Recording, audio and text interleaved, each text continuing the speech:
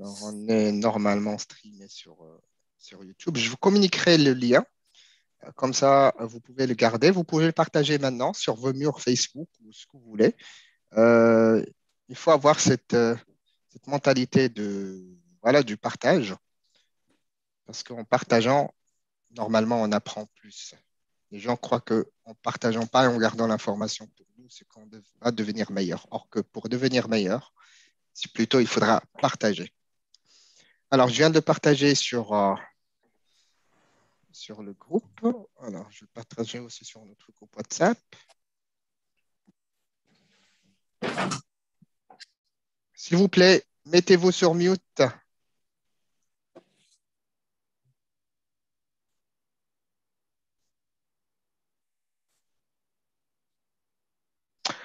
Voilà, alors, euh, une première question. Qu'est-ce que ça veut dire? Un serveur Peut-être moi, la question que j'allais poser, poser pardon, et j'aimerais bien, bien sûr, interagir avec vous dans ce live. Qui a déjà travaillé sur un serveur? Celui, euh, celui qui a déjà travaillé sur un serveur, qu'il me tape le chiffre 7, s'il vous plaît.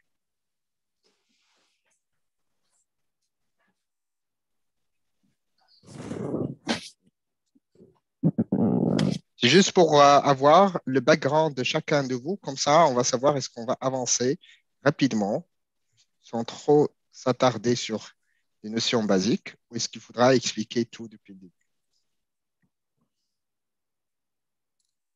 Oui, Fofana?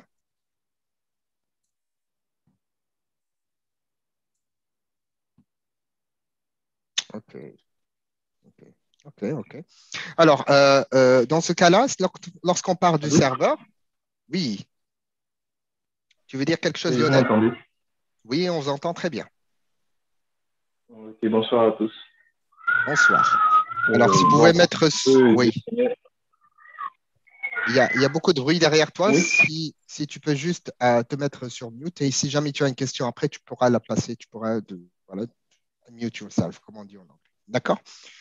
Alors, euh, quand on parle d'un serveur, un serveur, euh, c'est un supercomputer, comme on dit en anglais. C'est un ordinateur très puissant. Ça reste un ordinateur. C'est comme chaque ordinateur standard où on a euh, des disques, où on a de la mémoire, où on a des CPU, d'accord? Où on a beaucoup de, en fait, presque tous les composants. S'il vous plaît, sur mute. Alors, d'accord? C'est un ordinateur très puissant. Par contre, si j'ai sur un ordinateur standard un disque dur, je peux dire que sur un serveur, je peux trouver plus. Je peux trouver 4, je peux trouver 6, je peux trouver 32. D'accord? Je peux trouver pas mal, euh, pas mal en fait euh, de disques sur un serveur. D'accord? Euh, Si on a un CPU sur un ordinateur standard, sur un serveur, on en trouve deux CPU. On peut trouver des serveurs entrée de gamme avec un CPU. On peut trouver des serveurs avec 4 CPU. D'accord? En termes de mémoire. La mémoire, mon ordinateur, qui est supposé être performant, et je ne crois pas, elle, est, elle, a, elle, a, elle, a, elle a 16 Go de RAM. D'accord? Euh, Or que sur un serveur, on en trouve 100 Go, 200 Go de RAM, 500 Go de RAM. Alors, quelle est, et la question pour les personnes qui ont déjà travaillé sur un serveur, quelle est la taille maximale, euh, de mémoire que vous avez vu sur les serveurs sur lesquels vous avez déjà travaillé. Si vous pouvez taper ça sur le chat, ça serait sympa.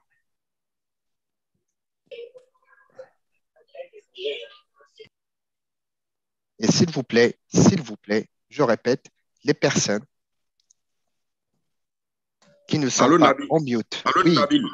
Oui. Excuse-moi, mais et, en fait, j'aimerais attirer ton attention sur un fait. Oui.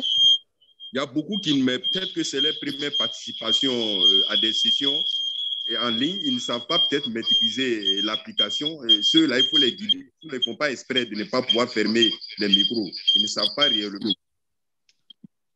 Bon, euh, avec le Covid, je ne crois pas qu'il y ait une personne qui n'a pas travaillé sur Mute.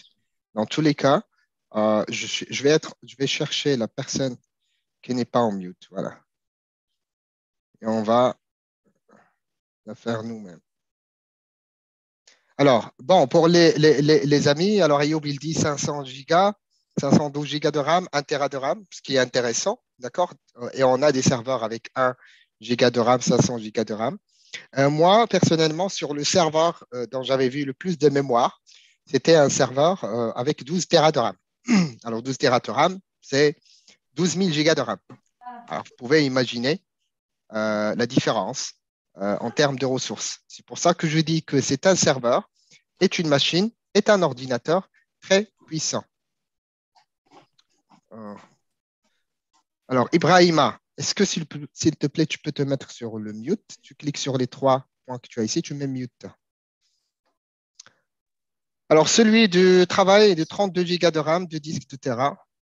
Et, euh, de disque, oui, bah, un Tera de disque, ça, c'est un truc normal, on peut trouver sur un disque. Alors, parlant de disque, si on a sur un disque dur, sur un serveur normal euh, ou un ordinateur normal, on a des disques effectivement de, 1 Tera. Alors, ça devient dérangeant, les gars. Euh, je vais commencer à renvoyer les gens qui ne sont, pas, qui sont, qui sont pas en mute. Parce que sinon, on ne pourra pas travailler tranquillement. Un instant. Si vous voyez une personne qui n'est pas en mute, vous me dites. D'accord? Comme ça, on en, termine. Voilà. Là, maintenant, je crois que tout le monde est là en mute. Bon, je disais que euh, pour un serveur, euh, en termes de, disques, on en trouve plusieurs, en termes de taille. D'accord? Alors, effectivement, moi, j'ai vu des, serveurs en termes de taille de disque, en parlant en disque, parce que sur un serveur, on en trouve plusieurs. Disques. Alors, pour les disques, on en a. Euh, il y a déjà différents types de disques qu'on trouve sur les serveurs. Il y a les disques durs SSD, il y a les disques durs HDD, HDD pardon, hard drive. Et bien sûr, euh, la différence, je crois que vous connaissez, les disques durs SSD, ce sont des disques durs flash. Et les disques euh, hard drive, ce sont des disques mécaniques. Maintenant, quelle serait la différence?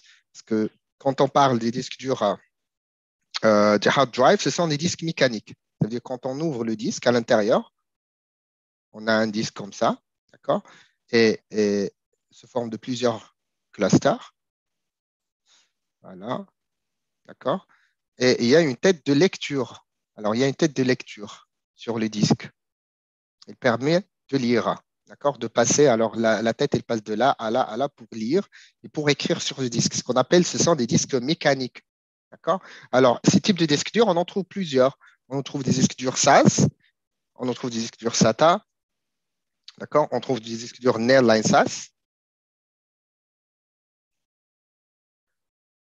Euh, quoi d'autre? Oui, ce sont les plus utilisés. Alors ça, ce sont des disques durs mécaniques avec une tête de lecture. Quelle est la différence entre disques durs SAS, SATA et SAS? C'est le protocole. Alors quand on parle protocole, c'est l'intelligence qui est utilisée pour la lecture et l'écriture des données. Alors quand on parle des disques durs SAS, SAS pardon, euh, de bandwidth et de 12 Go, quand on parle euh, du disque dur SATA, généralement, c'est du 6 Go. D'accord? Alors, c'est la vitesse et le bandwidth. Alors, les amis, est-ce que vous arrivez à voir l'écran? Partagez. Parce que là, il y a une personne. Oui, bah, apparemment, le problème est chez toi. Hein? D'accord, ça marche. Merci. Alors, les disques mécaniques, euh, comme j'ai dit, ce sont des disques soit SATA, soit SAS. Maintenant, les disques durs Nearline SAS. C'est quoi les disques durs Nearline SAS? Ce sont des disques durs SATA à la base mécaniquement, mais elle utilise le, elle utilise le protocole SAS, qui veut dire que la vitesse ici, vous allez trouver quand vous partez sur le, sur le système d'exploitation et les, caractéristiques du disque, vous allez trouver que c'est un disque dur SAS. Il ne va pas être autant que disque dur SAS, mais la vitesse de ce disque, ou le bandwidth de la bande passante, elle est de 6 gigas. Ça veut dire c'est comme un disque dur SATA. Alors, ça permet d'utiliser en fait euh, des disques durs SATA autant que SAS. Alors, ce sont les différents types de disques. Maintenant, quand la performance elle augmente, il y a bien sûr toujours des inconvénients. Quels sont les inconvénients? C'est que pour les disques durs SAS, on ne peut pas trouver des disques durs à 12 Tera, par exemple. D'accord? On ne peut pas trouver des disques à 12 Tera. Euh, c'est plus rapide, le SAS. Par contre, les espaces, on ne peut pas avoir trop d'espace de disques. Par contre, les disques durs SATA, Les disques durs SATA, euh, on trouve des disques durs euh, actuellement, récemment, j'ai trouvé des disques durs de, je crois, 24, 18 Tera. ce sont les plus utilisés, ce sont des disques durs de 18 Tera. la même chose pour les Leona et SAS. Alors, le SAS est plus rapide, mais le, SATA est moins rapide, mais il nous permet plus d'espace. Pourquoi je vous dis tout ça? Parce que c'est important quand vous êtes un ingénieur et quand vous êtes dans un data center. Parce que quand vous allez commander un serveur, vous allez avoir plusieurs types de disques. Alors, vous allez partir sur quel disque? Il faudra savoir la différence. Maintenant, pourquoi les disques durs SAS ils sont plus rapides que les disques durs SATA? Parce que sur les disques durs SAS, on a dit ça, c'est mécanique. Qu'est-ce que ça veut dire mécanique? Ça veut dire ça tourne il y a une tête de lecture et ça tourne, c'est mécanique. D'accord? Du coup, les disques durs SAS, on trouve des disques durs à 10 000 K ou 10 K. Ça veut dire, c'est quoi 10 K? 10 K RPM. C'est 10 000 tours par minute. D'accord? Ou bien des disques à 15 000 tours par minute. 15 K. Ça veut dire, quand vous voulez utiliser un disque dur SAS, soit vous allez trouver un disque dur 10 K, soit vous allez trouver un disque dur 15 K. Bien sûr, le 15 K est le plus rapide. Et le 15 K, qu'est-ce que ça veut dire? Ça veut dire que ce disque, il permet de faire jusqu'à 15 000 tours par minute. Ça veut dire que ça lui permet d'écrire rapidement et de lire rapidement. Maintenant, quand on parle des disques durs SATA, alors les disques durs SATA et les disques durs Neolensa, ce sont à 7.2. Pardon, 7.2. Ça veut dire 7000 tours RPM, c'est tours par minute. 7200 tours par minute. C'est pour ça qu'on a les disques durs SAS.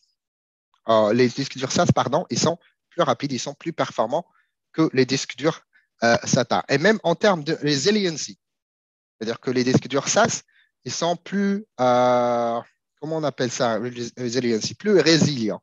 D'accord? Ils ne tombent pas en panne rapidement que sur les disques durs SATA. Alors ça, c'est par rapport les, les disques.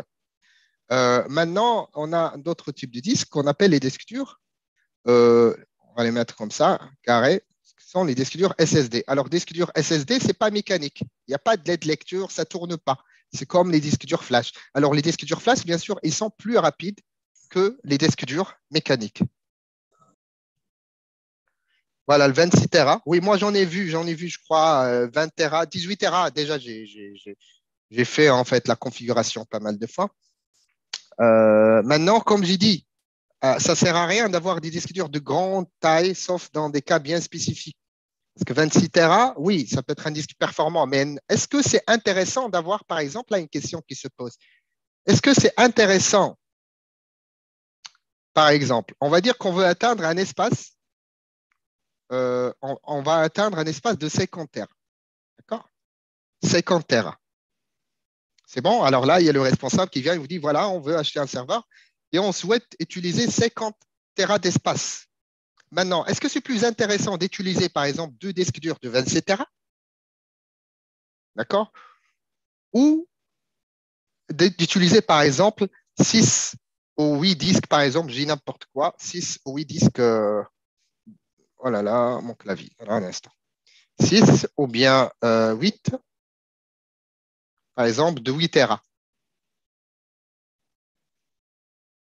À votre avis, quel est le mieux? Oui, parlons pas de RAID. Parlons pas de RAID, on va parler du RAID après. D'accord? On parle comme ça. On parle sans RAID. Alors, on va utiliser 50 Tera. Est-ce que c'est mieux d'utiliser 6 disques durs de 8 Tera ou d'utiliser deux disques durs seulement de 50 Tera? On aura le même espace. Mais maintenant, en termes de performance, parce qu'il faut comprendre comment les entreprises fonctionnent.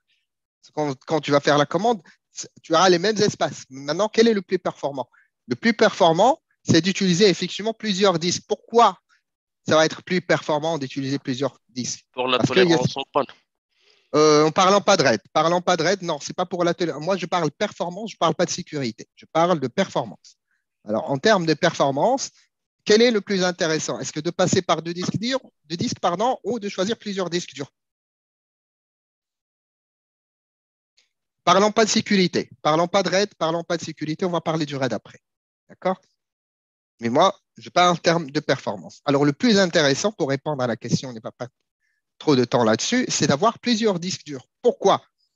Parce que, pour les personnes, bien sûr, qui ne sont pas trop habituées sur, euh, aux technologies, on va dire que, par exemple, je veux écrire une information A, B, C, D. D'accord? Une information ABCD.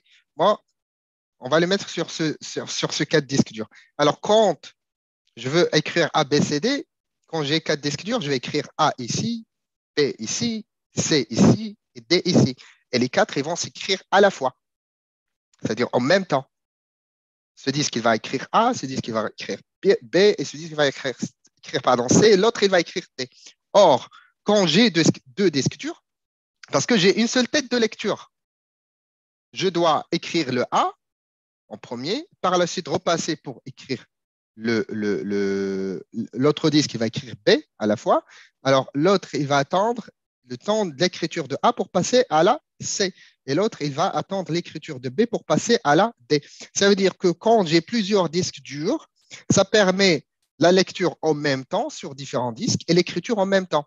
Et bien sûr, écrire sur plusieurs disques durs à la fois, ça va rendre la performance beaucoup plus importante. C'est pour ça que quand, par exemple, vous voulez acheter un serveur et vous avez installé une application sur ce serveur et quand vous vérifiez la fiche technique de cette application, il, vous dit que j'ai besoin d'un certain nombre de IOPS.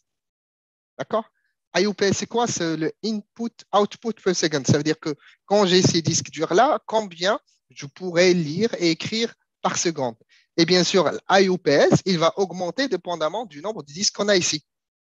Ça veut dire que dans notre cas, 50 Tera, oui, on peut les avoir dans les deux cas. Mais pour avoir un meilleur rendement au niveau du serveur, c'est qu'il faut avoir plusieurs disques. Alors, ce sont des choses qu'il faudra prendre et comprendre parce que ça peut, euh, euh, ça peut dégrader la performance de toute une entreprise si on ne comprend pas comment ça fonctionne. Alors, il faut faire très attention à ça. Maintenant, derrière ça, effectivement, quand j'ai ces disques durs-là, bien sûr, pour travailler un serveur, on ne peut pas travailler sans RAID. Alors, c'est qui dans le groupe qui ne sait pas qu'est-ce que ça veut dire un RAID? Celui qui ne sait pas un RAID, il peut m'écrire le chiffre 2.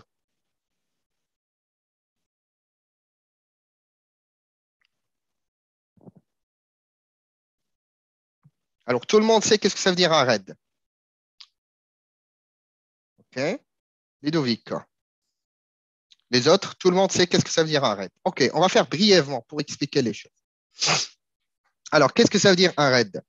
Euh, Dans tous les cas, moi, j'ai ce serveur-là, je veux installer mon OS, mon système d'exploitation sur ce serveur. Le système d'exploitation, il ne pourrait pas voir ces disques si je n'ai pas un contrôleur RAID. Un contrôleur RAID, c'est quoi? C'est une carte qu'on va installer ici sur la carte mère. D'accord? Et tous les disques seront branchés à cette carte. C'est ça un contrôleur RAID. D'accord? Maintenant, qu'est-ce qu'il va faire? Bah, Tout simplement, le RAID, c'est simple.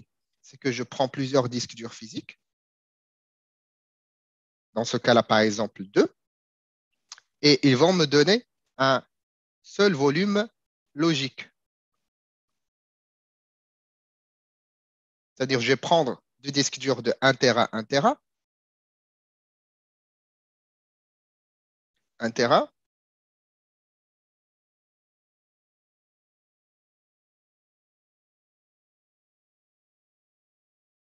Et ça va me donner un volume logique. Alors, le volume logique, la taille de ce volume logique va dépendre de qu'est-ce que je choisis comme type de RAID.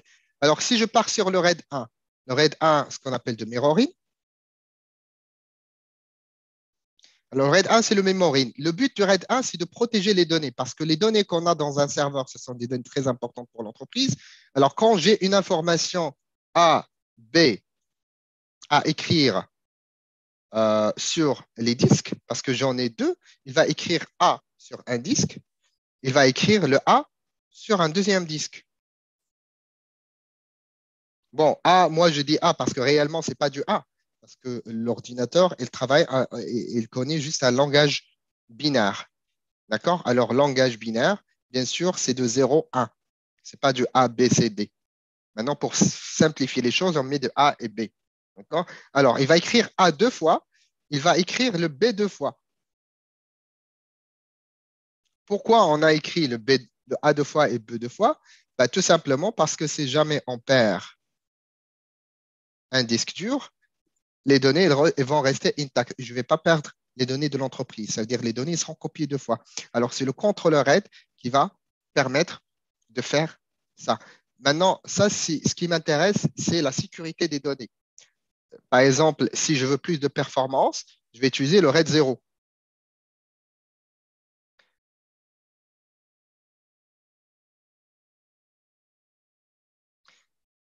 Alors, si on ignore la création du volume logique, si on ignore la création du volume logique, on ne pourra même pas installer notre système d'exploitation. Parce qu'au moment de l'installation des systèmes d'exploitation, il ne va pas trouver de volume. Et la question, tu l'envoies directement sur le groupe Younes parce que comme ça, tout le monde pourrait en profiter. Voilà, merci. D'accord? Alors, non, si on n'a pas un volume logique, on ne peut jamais installer ce serveur ce serveur, il ne pourra pas s'installer. Alors, un composant très important au niveau du serveur, c'est le contrôleur, le contrôleur RAID. D'accord? Alors, le contrôleur RAID, on a dit, c'est une carte physique qu'on a branchée sur le serveur. Maintenant, euh, le type de connectique, généralement, c'est du SAS, c'est-à-dire c'est du 12 Go, qui permet, bien sûr, d'interconnecter les disques avec le contrôleur RAID. D'accord? Et bien sûr, le but de RAID, c'est soit plus de sécurité, comme le RAID 1, soit plus de performance. Alors, quand on parle performance, on peut partir par exemple sur le RAID 0. Alors, pour le RAID 0, qu'est-ce qu'il va faire? Si je veux écrire, déjà, la taille de ce volume logique, il va être, combien la taille du volume logique ici, les gars? Si j'ai des disques durs Tera en RAID 1. Ça va être 1 Tera, exactement. Ça va être 1 Tera. D'accord? Dans le quiz, on a, on, a, pas mal de questions sur le RAID. D'accord? Alors, euh, effectivement, ça va être un Tera. C'est-à-dire que je perds l'espace, je perds l'espace d'un Tera. Pourquoi? Bah, Tout simplement, euh, je perds cet espace pour mieux, avoir plus de sécurité. J'ai deux Tera physiques, mais réellement, je peux utiliser qu'un Tera, mais mes données sont intactes. C'est jamais je perds un disque dur. D'accord? Euh, Maintenant, si je veux plus de sécurité, je vais prendre les deux disques. Et là, si j'ai une information ABCD, a, B, C, D. Alors, il va écrire le A le B ici, le C ici, le D ici. Alors, le problème avec le RAID 0, c'est quoi? Le problème avec le RAID 0, c'est que c'est jamais je perds un disque dur, je ne perds pas que le B et le D. Non, je perds la B, C, D. C'est-à-dire, tu peux créer un RAID 0 avec 4 disques, par exemple, de 1 Tera, ça va te donner un volume logique de 4 Tera. Par exemple, on a 4 disques. D'accord? Maintenant, s'il y a un disque dur qui est en panne sur le RAID 0, tu perds les 4 Tera des données. Alors, du coup, il n'y a pas de tolérance, et, mais, la tolérance, ça ne concerne pas que ce disque. C'est-à-dire que tu perds tous les disques. Hein Alors, il y a une question aussi, les contrôleurs RAID peut être le disciple software. Alors, qu'est-ce que ça veut dire un RAID software? Alors, le RAID Software, déjà, on a dit ici qu'on a une carte, un contrôleur physique. Alors, pourquoi on a un contrôleur physique? Quelle est l'utilité? Parce que ces disques, ils pourraient tout simplement être connectés à la carte mère, comme sur un ordinateur standard. Mais nous, on a choisi d'avoir un contrôleur. Alors, pourquoi un contrôleur? Parce qu'au niveau de ce contrôleur, on a un CPU. On a un CPU, on a un processeur, on a de la mémoire, de la RAM, et on a une batterie. Il y a une batterie aussi. Alors, à quoi sert? Le CPU, parce que quand moi, je vais commencer à écrire le A, B, C, D, c'est de la segmentation. Qui va faire tout ça? C'est le CPU au niveau du contrôleur. Et qu'est-ce que ça permet Ça? Permet plus de performance. Comment? Parce que j'évite un travail qui va se faire au niveau du CPU sur la carte mère. Ça va être fait par le contrôleur RAID. D'accord? Alors, ça se fait, pardon, ça se fait au niveau de, cette carte. On a de la mémoire. À quoi sert de la mémoire? Alors, la mémoire, elle sert comme un cache. Qu'est-ce que ça veut dire le cache? C'est-à-dire que, quelle est la différence, une question pour tout le monde, quelle est la différence entre un disque et une mémoire? Oui, je peux répondre. Vas-y, si c'est. La mémoire est très rapide sur le disque. Et c'est tout? C'est la différence fondamentale pour moi. Oui. Alors, c'est quelque chose qui est, qui est volatile et volatile, pardon. La mémoire s'efface. Voilà. Exactement. Exactement. C'est volatile. C'est que quand, déjà en termes de performance, la mémoire est des centaines, voire des milliers, des fois plus rapide qu'un disque. Mais elle reste comme un disque. Sur un disque dur, on peut lire, on peut écrire. Sur la mémoire, on peut lire et on peut écrire. On a des 0, des 1, on peut l'écrire sur les disques. On peut lire et écrire sur la mémoire des 0 et des 1.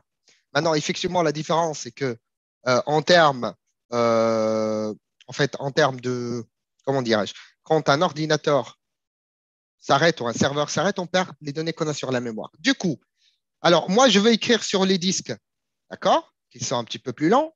Alors, je vais écrire sur la mémoire du contrôleur qui est un cache. Ça va être plus rapide. Et en même temps, dans le background, quand je vais envoyer l'information ABCD à l'utilisateur, je prends le temps d'écrire ces données sur le disque à, la vitesse du disque. Ce qui veut dire que pour l'utilisateur, ça va être rapide. Pour le serveur, il prend le temps, il écrit sur la mémoire, il prend le temps, bien sûr, d'écrire sur le disque après. Maintenant, la performance d'un contrôleur dépend bien sûr de la cache de, en fait, le cache de la mémoire. Et, les caches mémoire qu'on trouve sur les serveurs, bon, euh, actuellement sur les marchés, on a des 4 Go, on a du 8 Go, on a du 12 Go. Je crois qu'HP propose des 12 Go. Or que euh, et, le prix du contrôleur dépend bien sûr euh, de la taille de, ce cache. D'accord? Euh, Sur les baies de stockage, sur le contrôleur qu'on a sur les baies de stockage, on trouve du 64 Go de RAM et plus. 128 Go aussi. Alors, parlons de NVMe. Alors, qu'est-ce qu'un disque SSD NVMe pour un Oui, bon, un disque dur. Alors, on avait le disque mécanique, SAS, SATA, Neoline SAS on est passé à un disque dur SSD. Alors, disque dur SSD, on a dit c'est du flash. D'accord? On a dit c'est du flash, mais il y a toujours les mêmes protocoles. Ça veut dire que tu vas trouver un disque dur SSD SAS ou un disque dur SSD euh, SATA. Alors, bien sûr, la vitesse aussi change euh, entre le SATA et le SAS. Mettez-vous sur mute, s'il vous plaît. Les personnes qui ne sont pas en mute pour ne pas déranger les autres.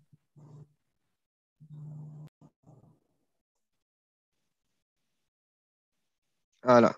Bon, alors, euh, on doit aller plus rapidement, sinon on va rester là. D'accord? Alors, euh, on a des disques durs SSD et on a des disques durs NVMe. Alors, NVMe, c'est des disques durs flash aussi.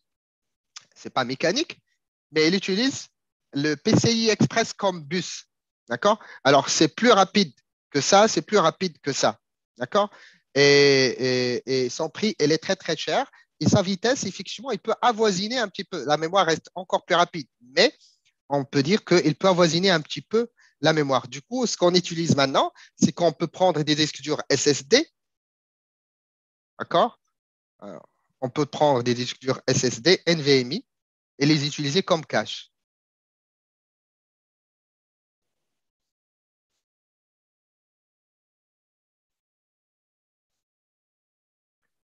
Voilà. Alors, ce sont les différents types de disques que vous allez trouver. Revenons sur le RAID, on a dit si on peut performance, on va vers ABCD. Là, la taille du disque, il va être 2 Tera. Maintenant, on a le RAID 5 et on a le RAID 10. Alors, brièvement, pour les personnes, alors pourriez-vous parler un peu du contrôleur RAID PERC LSI au niveau du serveur ESXi bah, C'est le contrôleur le plus utilisé, tout simplement. LSI, c'est un fournisseur du, carte contrôleur qu'on peut trouver sur des disques, sur, euh, sur des serveurs HP comme sur des serveurs Dell. Euh, quoi? Euh, Je ne sais pas quoi dire d'autre, mais c'est la même chose. En fait, ce sont des contrôleurs, on a de la mémoire. Maintenant, une question. Une question. Quel est le rôle de la batterie dans un contrôleur RAID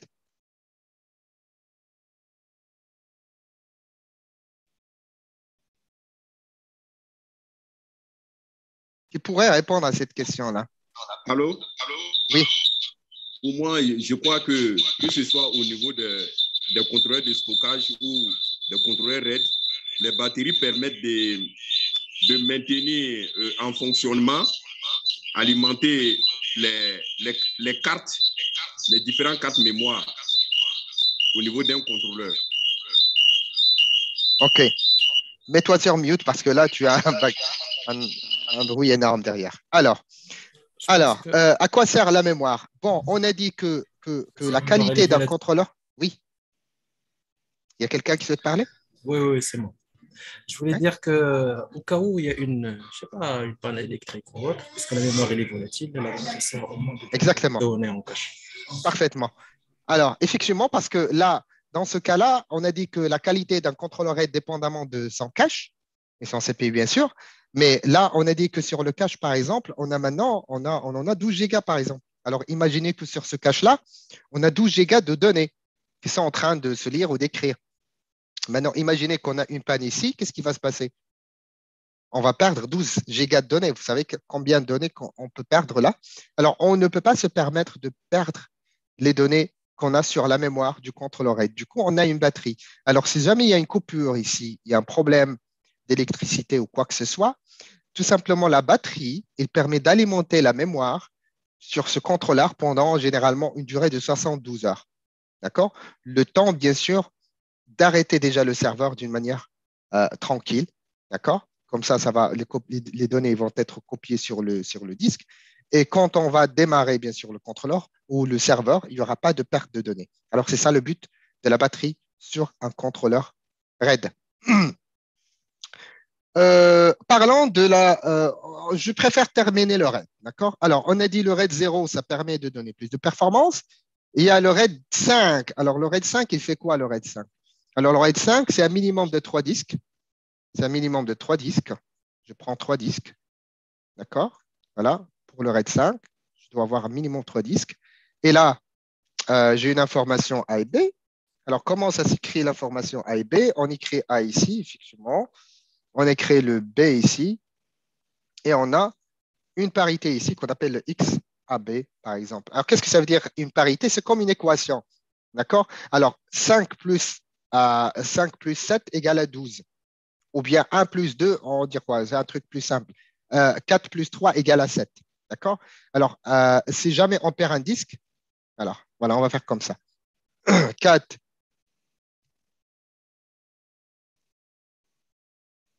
4 plus 7, plus 3 égale à 7. D'accord? Alors, imaginons ça, ce sont les trois disques. Le disque 1, le disque 2, le disque 3. Ça, c'est le parité, c'est le 7. Alors maintenant, si jamais je perds ce disque dur-là, qui est le B, on va mettre, c'est le 3. D'accord? Alors, on l'a perdu, ce disque. Il ne fonctionne plus. C'est bon, elle est morte. Alors, il devient un X. Maintenant, pour savoir quels étaient, qu'est-ce que j'avais ici comme données, parce que ce disque, je vais le remplacer. Ce disque dur-là, il est mort. Je le remplace avec un nouveau. Voilà. Alors, qu'est-ce que je vais mettre comme données ici? Je ne sais pas. Bah, tout simplement, grâce à ça, je vais faire un 7 moins 4 pour trouver le X. Et ça va me donner le 3. Alors, je sais qu'ici, on doit écrire un 3. Ça, c'est en nombre, ça, c'est en chiffres. Mais globalement, dans un, serveur, on parle de 0,1, 0,1. On fait la parité avec le 0,1, 0,1. D'accord? C'est comme ça que ça fonctionne, la parité. Et maintenant, généralement, sur le RAID 5, si j'ai trois disques euh, de 1 Tera, quelle serait la taille qui va être disponible pour l'OS 2 Tera. 2 Tera, exactement, parce qu'il y a l'espace d'un disque dur que je vais utiliser pour la parité. Ça marche? Effectivement, la tolérance de panne de un disque, c'est-à-dire si jamais un disque dur tombe en panne, je pourrais quand même euh, garder les données. Alors, il y a d'autres types de disques, on en fait rapidement. Il y a d'autres types de disques, comme euh, le RAID 10. Alors, le RAID 10, généralement, on pourrait faire une séance que pour le RAID, hein, mais bon, je, vais pas, je sais qu'il y a beaucoup de monde qui maîtrise déjà le RAID, je ne vais pas leur perdre leur temps, mais je préfère au moins pour les personnes qui n'ont jamais vu ça, qu'ils revoient un petit peu les choses. Alors, RAID 10. RAID 10, il fait quoi? Alors, j'ai une information ABCD. ABCD. Je vais écrire. D'accord J'ai 4 disques 4 Tera. Alors, le RAID 10 à la base, on prend ça. on produit déjà le dernier. C'est le RAID 0. Et le RAID 1. Ça veut dire quoi? Ça veut dire qu'elle fait le RAID 0. Alors, le RAID 0, il va faire quoi? Il va m'écrire le A ici et le B ici. Ça, c'est de la parité. Et en bas, on va faire quoi? On va faire du RAID 1. S'il vous plaît, sur mute. Alors, ça veut dire qu'il va me faire deux fois le RAID 1. De couleur.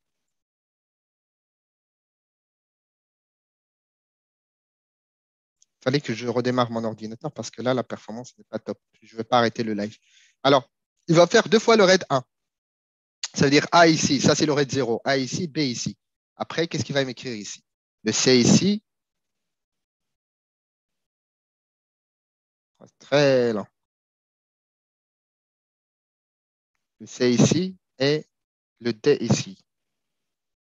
D'accord? Et là, sur le RAID 1, qu'est-ce qu'il va faire? Il va écrire A ici, A ici, parce que le RAID 1, c'est, il copie chaque donnée deux fois. Le C ici et le C ici. Alors, en haut, c'est du RAID 0 et en bas, c'est du RAID 1. Et là, il va m'écrire le B deux fois. Le B deux fois.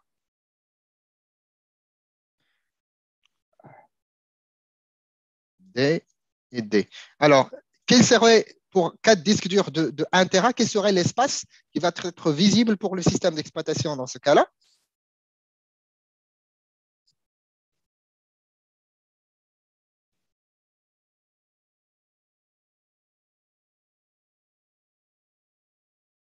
La question. La question, c'est quelle serait la taille qui va être disponible pour le système d'exploitation avec un RAID 10 Exactement, 2 Tera. Ça veut dire sur 4 disques durs de 1 Tera, je perds 50% des, de l'espace euh, dont je dispose sur mon serveur. Ça veut dire que je vais perdre deux disques. Ce disque-là et ce disque-là. Maintenant, ce qui est important, c'est la tolérance de panne. Ça veut dire que je peux perdre un disque dur. Ce disque dur-là, il n'y a pas de problème parce que les données sont ici. Je perds ce disque dur-là, il n'y a pas de problème parce que les données sont écrites ici. Maintenant, le problème, il vient quand on perd, par exemple, ces deux disques durs-là. C'est là où on perd toutes les données. D'accord? Alors, on peut perdre euh, un disque de chaque RAID 1. Ça marche? Euh, Par contre, le RAID 10, il reste plus performant aussi parce qu'il y a du RAID 0 en haut. Ça veut dire que ça permet d'écrire et de lire rapidement. Généralement, les gens qui travaillent avec les bases de données, ils préfèrent, utiliser le RAID 5 ou bien le RAID 10. Maintenant, le RAID 50, c'est la même chose. Alors, on a dit le RAID 5. Bon, on prend, on écrit ici RAID 50. Ça va être notre dernier exemple en RAID. Euh, en RAID. Alors, après, bien sûr, on pourrait faire un truc pour le RAID. Alors, euh, on va parler du RAID 50. Alors, euh, RAID 50, c'est le RAID 0. Ça veut dire que j'ai une information A, B, C, D. Alors, RAID 0, déjà, le RAID 5, pour avoir le RAID 5, c'est un minimum de trois disques. On a dit deux disques et un disque pour parité. Alors, ça veut dire pour le RAID 50, un minimum de combien? Je vais avoir le RAID 5 deux fois. Ça veut dire qu'un minimum de six disques. C'est deux fois le RAID 5. D'accord? Voilà. Alors, j'ai l'information euh, A, B, C, D. Qu'est-ce qu'il va faire? Il va m'écrire le A sur ce RAID, sur ce volume. Il va m'écrire le B ici, du RAID 0. D'accord? Le C ici et le D ici. Maintenant, comment ça va s'écrire sur ce RAID 5 Alors, c'est A ici, C ici, et ici, il va me faire la parité. Entre les deux. Hein? J'ai donné l'exemple d'une équation pour trouver qu'est-ce qu'on a perdu comme données. D'accord? Et là, il va m'écrire le B ici, le D ici, et ici, il va faire le XBD. D'accord? Alors, maintenant, quel est l'espace qui va être visible pour mon système d'exploitation pour ces disques de 1 Tera? 3 Tera. 3 Tera? Alors, ça, c'est 1 Tera. Ça, c'est 1 Tera. D'accord? Euh, Il est où le troisième Tera? Non, ce n'est pas 3 Tera. Il va voir 4 Tera. Parce que A, C, B, D, ça, ce sont mes données. Elles sont écrites sur 4 disques. Et l'espace de deux disques durs, on va les utiliser pour la parité. D'accord? 1 Tera, il va être visible. 1 Tera. 1 Tera, ici 1 Tera. Oui, on va. C'est quoi? Brièvement pour toi, je ne vais pas trop rentrer en détail. Alors, JBot, c'est que moi, j'ai ici, euh, oui, disque dur. Ce n'est pas suffisant pour moi. Je vais rajouter une carte ici qu'on appelle une carte HBA. D'accord? C'est une carte avec des, des XAS. Et cette carte-là, je vais la relier à une baie de stockage. Voilà, une baie de stockage qui va me rajouter, par exemple, je ne sais pas, 20 euh, disques ou 12 disques durs. D'accord? Et ces disques, ils vont être gérés toujours par le même contrôleur. C'est ça le JBOT. Just Branch of Disk. Ça veut dire que c'est une baie de stockage qu'on peut rajouter à un contrôleur. Il va être géré par le même contrôleur. Il va être visible que comme s'ils sont des disques durs sur le même serveur. Or que réellement, c'est une base, c'est une baie de stockage qu'on a rajoutée, qu'on a liée à une carte HBA, Host Bus Adapter SAS. Bon, les personnes euh, qui trouvent ça un petit peu très avancé, ne faites, faites pas, en fait, vous pouvez, vous zapper ça. Bon, alors, jusque-là, les gars, jusque-là, est-ce que, est. Alors, elle est quelle heure déjà, juste pour voir comment on avance? Ouais, bon, presque. On a fait quand même 50, euh, à peu près 45 euh, minutes. Alors, on, veut, on veut voir plein d'autres choses. Il faut qu'on avance. Alors, jusque-là, est-ce que c'est OK pour tout le monde? Est-ce que c'est clair? Est-ce que le rythme de formation, il est bien? Est-ce qu'on détaille encore plus ou c'est bon? Parce que moi, je peux aller plus rapide que ça. Hein.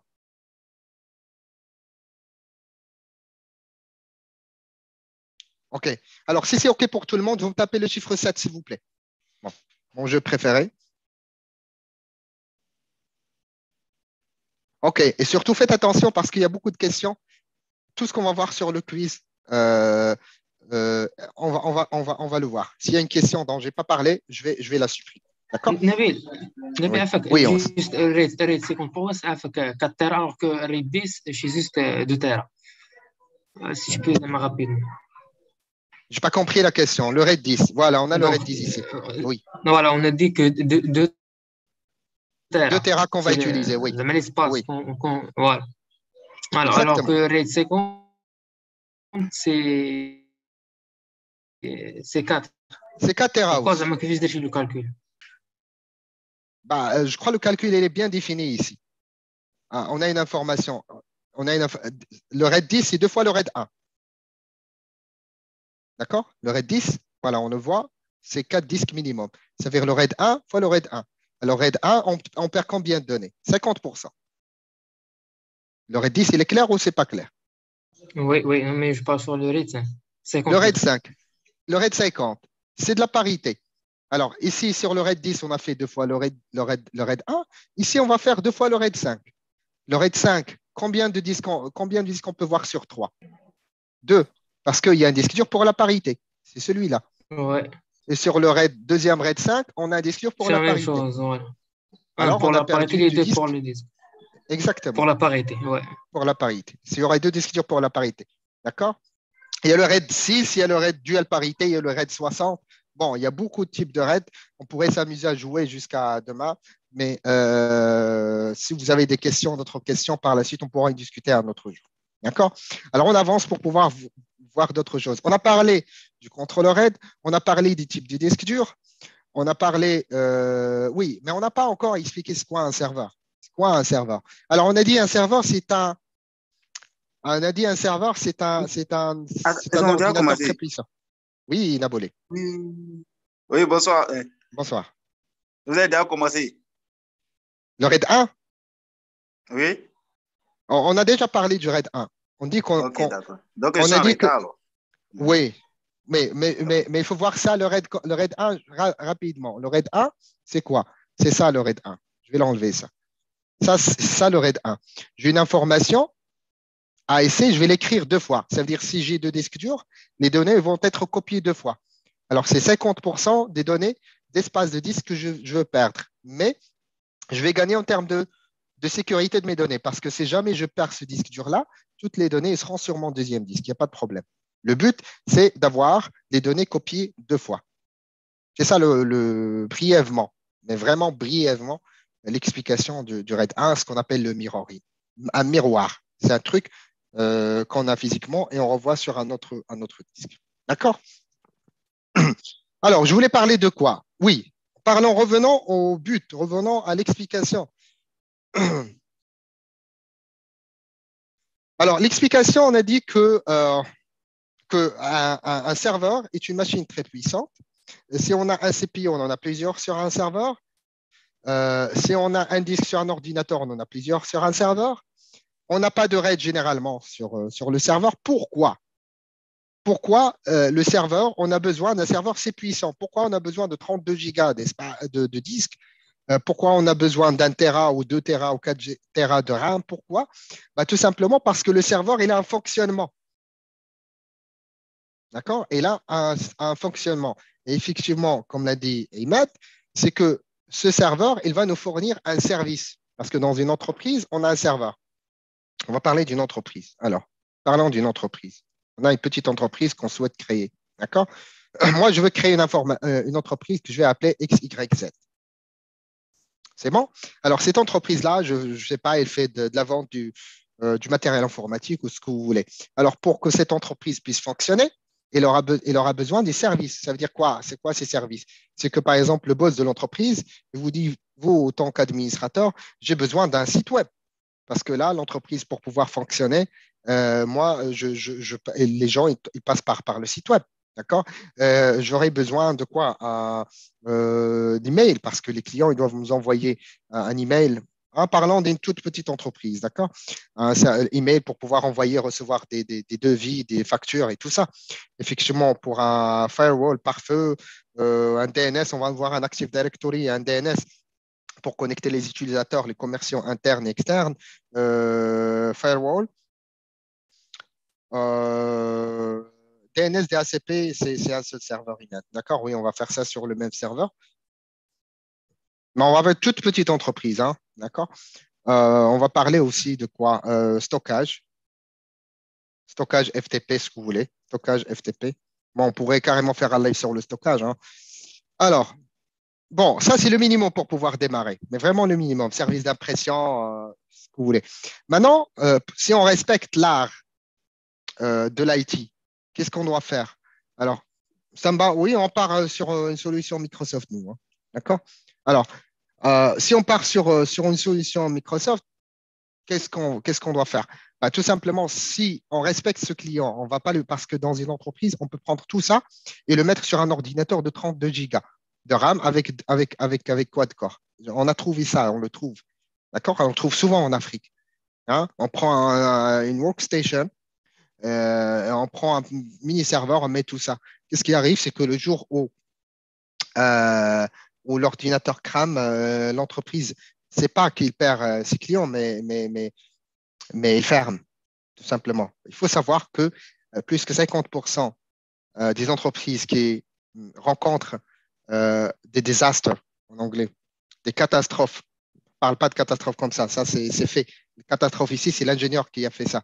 Mais, mais, mais les entreprises qui, qui, perdent leurs données suite, suite à des problèmes, des désastres, ils ne peuvent plus revenir. Et surtout avec le digital maintenant. Tu as la base de données de client, tu as les emails, tu as les factures, tu, as, tu perds tout ça, tu ne peux pas revenir, tu peux pas recommencer. Alors, il y a des entreprises, plus euh, beaucoup d'entreprises, en fait, ils, ferment après, après disaster recovery. écoute, les entreprises ne veulent pas mettre la main à la poche parce que nous, écoute, moi, euh, j'ai joué pas mal de rôles durant mon expérience. J'ai joué le rôle de recruteur, recruteur pardon, ah, je commence à me fatiguer. J'ai joué le rôle de, chef d'entreprise, joué le rôle de l'ingénieur, j'ai joué pas mal de rôles. Tu sais que pour un client qui vient, il me dit, voilà, euh, il pense plus budget. Je lui dis ça. Vous voulez ça, je, vais vous le faire, je vous le propose. Ça va fonctionner. Et vous assumez toutes les responsabilités. Parce qu'après un an, si cet ordinateur ou ce serveur tombe en panne, vous perdez toutes les données de l'entreprise. Est-ce que vous voulez vraiment faire ça?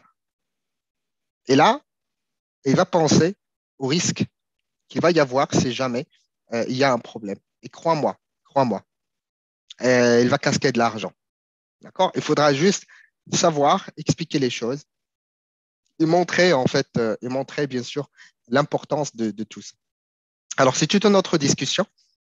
Euh, maintenant, revenons bien sûr sur notre toute petite entreprise SYZ. Alors là, ce sont des services. Alors, un site web, quel est le service site web? C'est le service, c'est Web Services, c'est le service web, d'accord?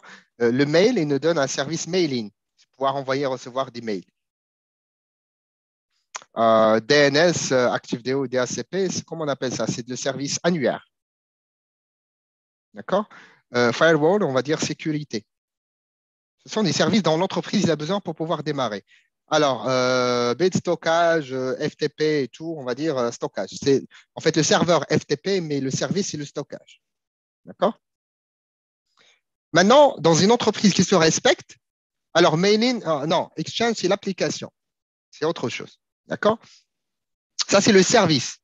Le service dont on a besoin. D'accord? L'emailing, c'est pouvoir le client parce qu'il ne sait pas Exchange. Le chef d'entreprise, Exchange, ça veut rien dire pour lui. Lui, il fait peut-être, il a une entreprise d'automobile. D'accord? Exchange, pour lui, c'est du chinois. Alors, lui, il te dit, voilà, moi, je veux les mails. Je veux le mailing. Le fait de, que je puisse envoyer un email à un client, recevoir un email. D'accord? Euh, Je veux que euh, tout le monde se connecte avec un user et un, mot, de passe et un user. Ça, c'est l'annuaire. Sécurité, ah, euh, je ne veux pas que voilà, mes données ou quelqu'un peut s'y accéder pour. Alors, quand, il quand, quand on fait le cahier de charge, tu t'assois avec le chef d'entreprise, tu sors ce type de service dont il aura besoin. Et là, normalement, pour pouvoir répondre à ça, bien sûr, on va avoir un serveur euh, web. D'accord Alors, pour le, web, qu'est-ce qu'on va faire? On va acheter un serveur physique. Alors, le serveur physique, sur quelle base on va décider, écoutez, on va faire 8 euh, gigas de RAM ici ou 16 gigas de RAM ou 100 gigas de RAM Comment on va décider? On aura besoin d'un CPU, de CPU, de deux corps ou de quatre corps. Alors, il y a beaucoup de questions qui vont se poser. Maintenant, comment on peut répondre à ça? Bien sûr, il faudra se référer aux besoins. Alors, euh, quand tu pars, par exemple, moi, je veux faire le site web, comment je vais faire le site web? Ben, Je dois installer une application. Quelle est l'application que je vais installer? Si je pars sur Windows, par exemple, on a Windows 2022 qui sort ou Windows 2019, et je vais installer le 2IS. Ben, je vais voir le 2IS, il a besoin de quoi en termes de ressources? Ce qu'on appelle le sizing. Tu fais le sizing. D'accord?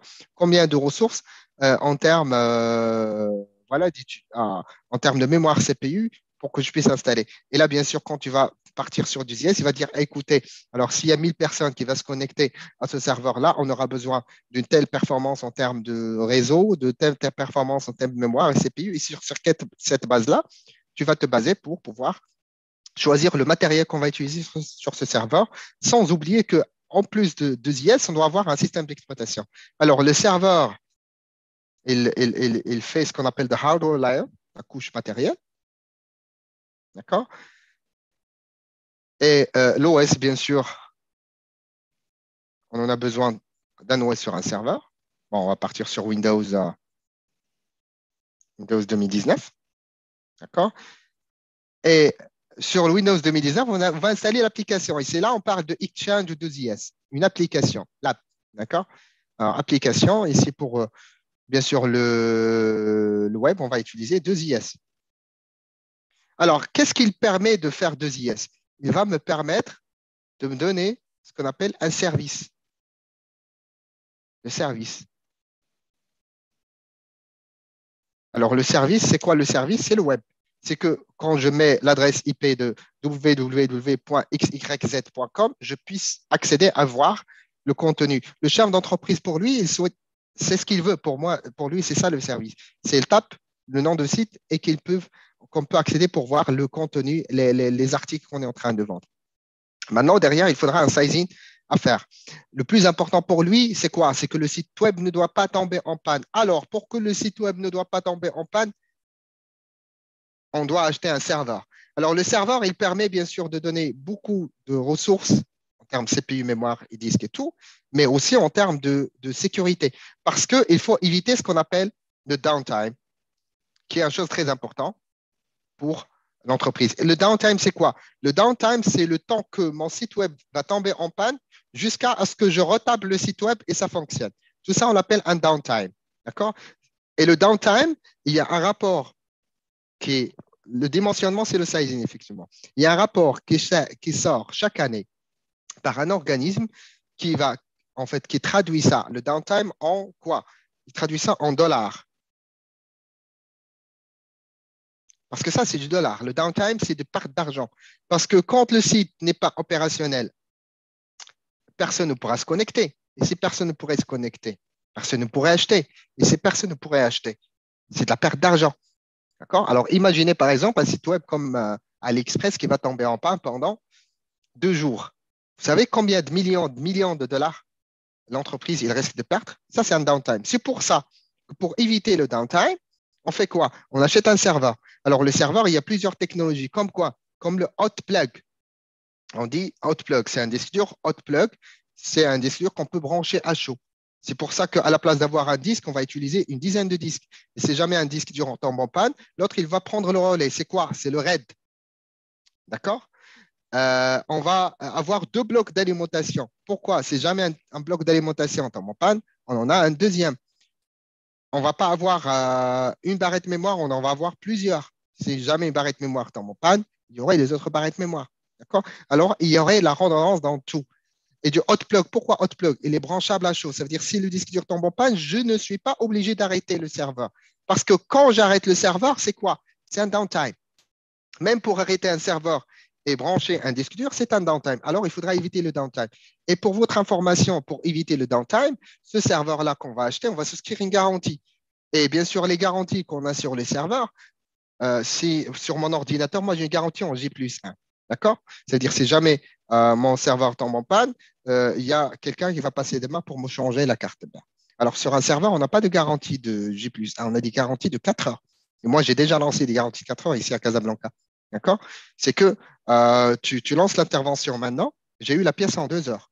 Parce que 4 heures, ça veut dire quoi? Ça veut dire que 4 heures, le système ou le site web va être, déjà opérationnel. Et qu'est-ce qui se passe si jamais on respecte ça? C'est des pénalités. Parce que quand tu vas souscrire une garantie avec, le, avec le constructeur. Si jamais on ne respecte pas le deadline, qu'est-ce qui va se passer? C'est que des pénalités que le constructeur il va payer. Et, il faut imaginer une garantie de 4 heures. Oui, c'est un SLA, effectivement. Et imaginez la garantie de 4 heures. La garantie de 4 heures, les amis, il va coûter plus cher que le serveur en lui-même. Le serveur en lui-même, sa garantie est plus chère que lui. C'est-à-dire le service qu'on a est plus cher que le matériel. Alors pourquoi? Parce qu'on s'en fout du matériel. Désolé pour le terme. On s'en fout complètement de la mémoire du disque. Vraiment tout. C'est quoi? Qui compte dans toute cette histoire C'est le service.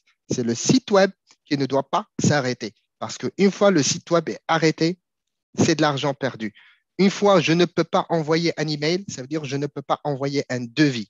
Je ne peux pas envoyer un devis, je ne reçois pas de facture. C'est de la perte d'argent. Parce que quand un commercial il y a Active Directory qui est en panne, qui est down, il ne pourrait pas se connecter, c'est-à-dire il ne pourrait pas accéder à l'application, il ne pourrait pas contacter les clients. Tout ça, c'est du downtime et c'est calculé en dollars. C'est pour ça que le serveur, ce n'est pas juste une machine et c'est pas, c'est la raison pour laquelle on nous trouve, euh, comme je dis, toutes ces technologies, euh, euh, comment on appelle ça, de sécurité et de, de performance. Et en plus de ça, la gestion alors, pour la gestion, sur les serveurs, on trouve des cartes de management qu'on ne trouve pas sur les ordinateurs standards. Par exemple, sur les serveurs Dell, on a, des cartes qui s'appellent IDRAC. D'accord? Euh, Sur les serveurs HP, on a des cartes qu'on appelle ILO. Alors, elles permettent de faire quoi ces cartes? Elles permettent de se connecter au serveur. Quand le serveur est éteint complètement, moi, je peux l'allumer à distance. D'accord? Euh, euh, Quoi d'autre? C'est que ça permet, en fait, il y a des services qu'on a ici au Maroc qu'on appelle de l'infogérance. Et, il y a beaucoup de personnes qui sont basées ici au Maroc qui gèrent des serveurs qui se trouvent en Europe, généralement en France. Alors, euh, ce qu'on appelle de l'infogérance. Alors, comment on fait ça? C'est grâce, bien sûr, à euh, à ces cartes-là. Et cette carte-là, ils permettent en fait de prendre le contrôle de la, du serveur. Et quand je dis prendre le contrôle, c'est pas quand il y a un OS, c'est pas euh, comme le remote desktop, le bureau à distance. Non, c'est prendre le contrôle même quand le serveur est éteint. Bien sûr, il faut qu'il soit alimenté avec un câble. Euh, quand on a sous BIOS, ça veut dire généralement on ne peut pas accéder au BIOS, on ne peut pas voir le contenu de BIOS parce que c'est au-delà de le système d'exploitation. D'accord? Mais le BIOS, tu peux y accéder. Tu peux lancer l'installation du serveur euh, depuis Casa pour un serveur qui se trouve à Dakar ou qui se retrouve euh, à Paris. Il n'y a absolument aucun problème. Alors, ces cartes-là, bien sûr, ils ont des licences, ça coûte euh, de l'argent. Alors, tout ça, il fait que le serveur, il coûte cher pour l'entreprise. Il coûte cher pour l'entreprise. Sans parler que ce serveur-là, il doit être dans un data center.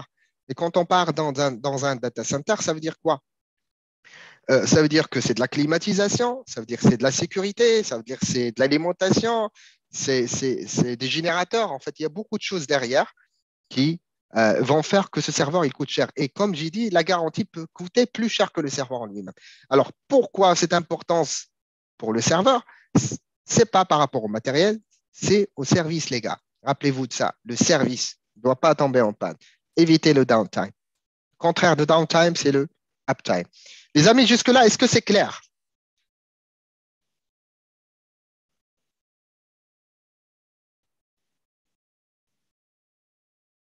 Alors, si c'est clair, on va faire, si c'est clair, on va faire, on va faire, euh, on, va, expliquer une dernière chose avant qu'on fasse un petit teardown pardon, d'un serveur. Alors, euh, voir ce qu'on a ici? Ce n'est pas mon ordinateur. Il est. Alors, les types de serveurs, on a plusieurs. On a, on a, on a ce qu'on appelle le direct server.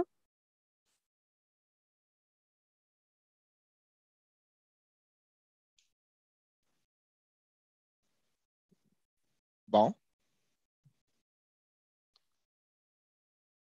Quand les outils n'aident pas trop. Voilà. Pour une connexion de 100 mégas, Alors, serveur format rack, là, on a des serveurs Dell. Ça, ce sont des serveurs euh, rackables. Rack, ça vient du rack. Du, rack. Le rack, c'est quoi? C'est l'armoire. Ce sont des serveurs qu'on prend et qu'on rack dans un, euh, dans un rack. Le, verbe, c'est racker. C'est prendre et mettre dans un rack, d'accord Dans une armoire. Et, le, temps en fait, de mesure de ces serveurs-là, c'est par unité. Voilà. Alors ça, c'est un serveur 2U, deux unités. Voilà, on voit ici 2U. Qu'est-ce que ça veut dire 2U C'est deux unités. Alors, chaque unité, en fait, c'est l'unité de mesure pour les serveurs. D'accord? Alors, chaque unité est de 4,4 cm. Ça veut dire que ce serveur-là, sa taille, elle est de à peu près 8,8, euh, euh, à peu près 9 cm. D'accord? Et, en fait, on les met dans un rack, euh, armoire. D'accord? Et bien sûr, l'unité de mesure de ce rack est euh, par unité. Généralement, on a des 42U, ça veut dire 42 unités. Voilà, ça c'est un rack, d'accord? 42 unités, on trouve les plus petits qui sont de 24 unités. D'accord? On prend des serveurs, on les, met dedans, ici. D'accord? Ça, on appelle un rack. Euh, et les serveurs, ils sont rackables ici. Alors, bien sûr, dans un, dans, dans, dans, un rack, on trouve quoi? Euh, On trouve ce qu'on appelle appelle un KVM KMM. C'est quoi KVM KMM KVM, alors KVM switch. C'est quoi un KVM switch? Bon, euh, je, vais montrer KMM déjà parce que je crois que vous devez connaître. Alors KMM, je ne sais pas qu'est-ce qui m'a sorti. Keyboard mouse, voilà, c'est ça le KMM. Hein.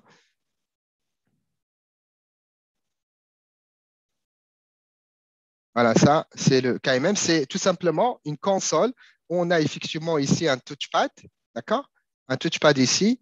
Et, on peut voir, on peut accéder aux différents serveurs parce que on ne peut pas mettre un écran sur chaque serveur. D'accord? Un, rack de 42U, euh, il, peut, combien de serveurs en, 4U il peut supporter?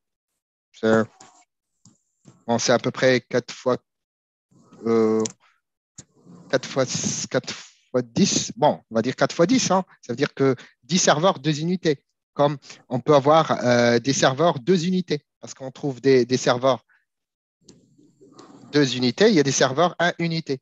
D'accord? Comme le R640, par exemple. Ça, c'est le 740. Le R640, c'est un serveur de 2 unités. Anyway, alors KMM, c'est ça. Keyboard Mouse, d'accord euh, Pour pouvoir euh, il est connecté, en fait, ce KMM, il est connecté à un switch. C'est ça le switch KVM. Ça, c'est un switch KVM. Alors, ça, il est connecté à ça. Et ça, c'est un switch parce qu'il y a des câbles. Et des câbles, ils sont connectés par la suite sur quoi? Sur les serveurs. Voilà, là, on peut montrer ça. Voilà. Le, KVM, le, KMM, il, a, il, est, à 1U, une unité. D'accord? Ça, c'est le KMM. Et il y a le KVM aussi, c'est 1 unité. D'accord? Alors, 1U, alors ça, c'est un U. Et on a deux serveurs, par exemple, ici, ça, c'est un U. Et on fait le calcul, unité par, par unité. Alors, les serveurs, ils sont connectés sur le KVM. Le KVM, il est connecté sur le KMM. Maintenant, quand je veux accéder sur un serveur, je vais juste sortir le KMM. Et ça me permet de me connecter à tous les serveurs parce que je ne suis pas obligé d'avoir un écran. Ce qu'il faut savoir, les gars, c'est qu'un serveur, pourquoi on l'achète? Alors, voilà les câbles derrière, on les branche ici. Ça vient du serveur. D'accord? Voilà, là, ça montre comment c'est branché. Bon, ça, c'est avec un, ça, c'est avec un Converge Solution. Mais bon, il y a, y a un câble qui se branche ici pour pouvoir tout simplement se connecter sur le, sur le serveur. D'accord? Alors, euh, voilà le câble. Voilà le câble que je cherche. Ce qu'on appelle le câble SIP. D'accord?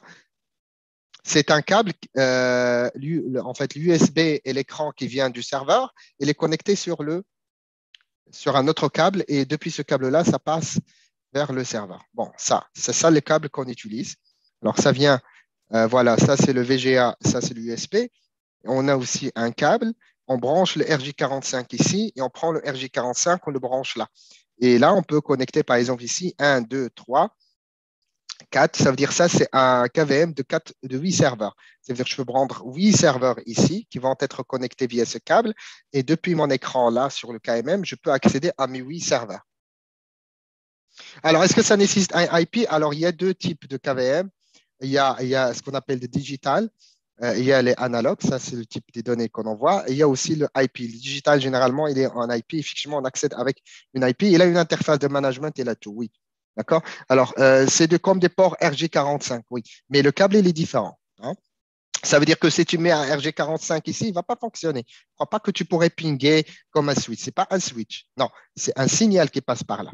C'est un signal qu'on vient ici. C'est un signal visuel qu'on prend ici, d'accord? Qu'on le traduit sur ce switch-là. Alors, ce n'est pas un switch euh, réseau. Non, c'est complètement différent. Il s'appelle un switch, mais pour passer d'autres, en fait, un autre signal. Alors, ça, c'est le KVM, le KMM qu'on trouve sur le rack. Euh, quoi d'autre? Et les serveurs, euh, on a dit les serveurs rack. Alors, il y a d'autres types de serveurs. Alors, on a des serveurs, on a dit 1 unité, 2 unités. Alors, il y a des serveurs euh, tower, d'accord? Les serveurs tower, ou tour en français, tower server.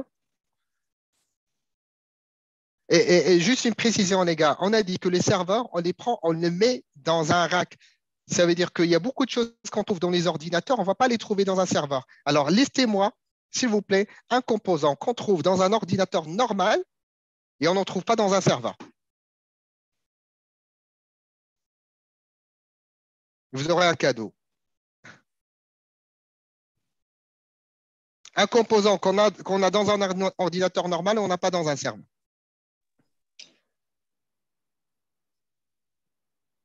C'est quoi BAF?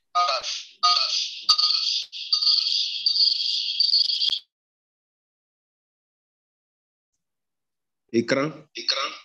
Bah non, on peut brancher un écran. Hein. Haut-parleur. C'est la carte réseau. Oui, c'est la carte 100.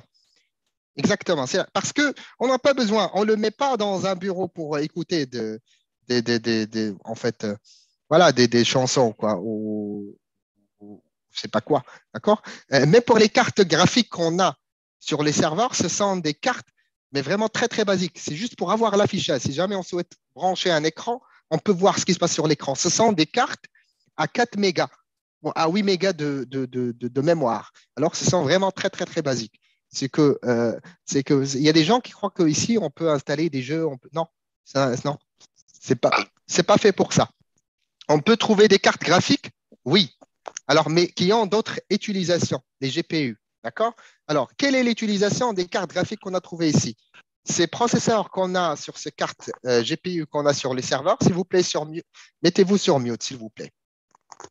Alors, ces cartes GPU qu'on a ici, leur fonctionnement, ce n'est pas installer euh, des jeux, non, mais ils sont, en fait, euh, vous savez que les processeurs qu'on a sur les cartes graphiques, ils sont euh, très puissants pour certains calculs. Alors, du coup, il y a des solutions comme les HPC. Voilà, c'est pour des calculs. Ça veut dire quoi un calcul? Euh, Je vous dis n'importe quoi. Par exemple, est-ce que vous savez que pour les, les, les, pour les, les, organismes qui font euh, les prévisions météorologiques, il y aurait beaucoup de calculs qui doivent se faire derrière. L'envoi des missiles, je ne sais pas, euh, il y a beaucoup de calculs. Alors, ce type de calcul, on utilise, on utilise des cartes GPU, d'accord, qui permettent de faire ce genre de calcul-là. D'accord et, comment on fait ça? Par des solutions HPC. C'est qu'en groupant des centaines de serveurs qui vont être utilisés, se forme euh, d'un seul euh, supercomputer, ou bien le mining, effectivement. Euh, voilà, des, des, des, des cryptos, quoi. D'accord? Bon, il y a beaucoup de solutions, mais ce n'est pas pour euh, installer PES.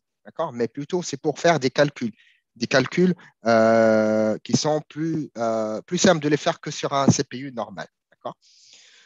Voilà. Alors, les, serveurs tours, euh, c'est ça. C'est pratiquement comme les autres, sauf que là, ces serveurs, vous voyez, on peut les mettre, on peut les mettre pas forcément dans un rack, mais on peut les mettre bien sûr dans un bureau, tout simplement, comme ça.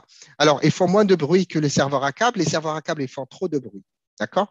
Alors, on les fait, en fait, on a ça. quoi d'autre? Euh, alors, quoi d'autre, quoi d'autre, quoi d'autre? Euh, oui, et sans convertible. C'est-à-dire que là, je peux prendre celui-là, je peux rajouter par exemple ici des trucs là, euh, un kit convertible, et, là, en fait, je vais, je vais, inverser ce serveur-là et, on peut le racker aussi. Prendre ce, serveur-là et qu'il devient rackable. Alors pourquoi, dans ce cas-là, ne pas partir sur un serveur rack? Bah, Tout simplement parce que euh, les serveurs ont une unité. Je ne sais pas qu'est-ce qui fait mon ordinateur et ce n'est pas moi qui ai fait ça. Alors, euh, comme j'ai dit, euh, ces serveurs-là ils présentent plus de ports PCI. C'est-à-dire, si vous voulez utiliser des cartes en PCI, beaucoup de cartes réseau, plus des cartes GPU, par exemple, là, ça, ça, va supporter plus de cartes GPU qu'un serveur rackable comme celui-là, sûrement. D'accord? Parce que la taille n'est pas la même. Maintenant, on a besoin de plus de cartes, on utilise celui-là et par la suite, on achète un, kit et on va le mettre sous forme de rackable. Et ça aussi, ils sont mesurables en unités. Parce que là, ça, ça fait 5 unités. D'accord? Parce que quand on va l'inverser, il va devenir comme un rack, ça va être ça la taille du serveur et ça va être 5 unités. Or que ça, c'est 2 unités. Or qu'on a des serveurs 1 unité. Bon, désolé pour mon écran, c'est pas ce qui arrive.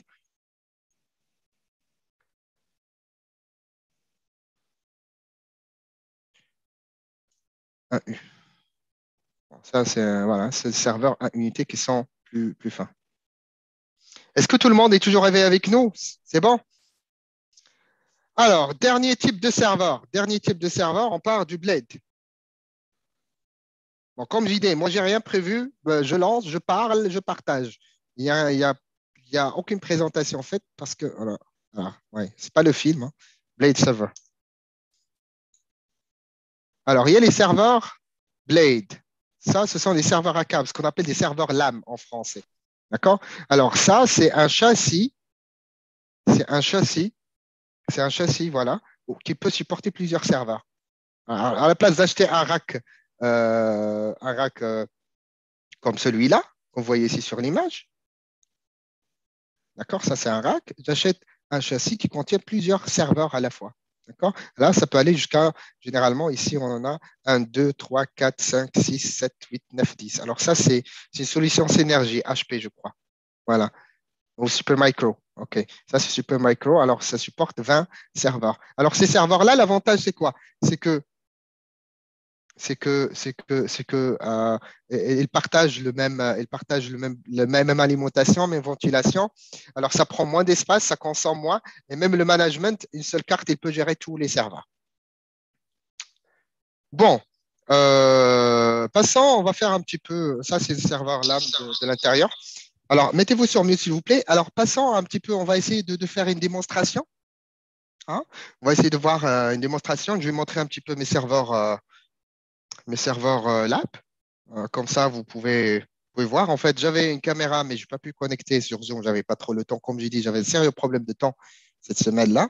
Et quand même, je tenais à, à respecter, à être là, même si, logiquement parlant, je ne dois pas le faire. Tellement j'ai passé une semaine un petit peu chaude. Euh, mais bon, on le fait. Alors, comment on peut faire? Oui, je trouvais une solution, c'est que je peux connecter mon téléphone. C'est la raison pour laquelle tout à l'heure, je vous ai dit, je vous ai dit que euh, j'ai besoin de charger mon téléphone. Alors, je vais envoyer, je vais me connecter avec mon téléphone un instant. Maintenant, je ne sais pas sur le. Oui, d'habitude, parce que je ne faisais pas la, En fait, attends. D'habitude, de... d'habitude, moi, je ne délivrais pas, mais plutôt.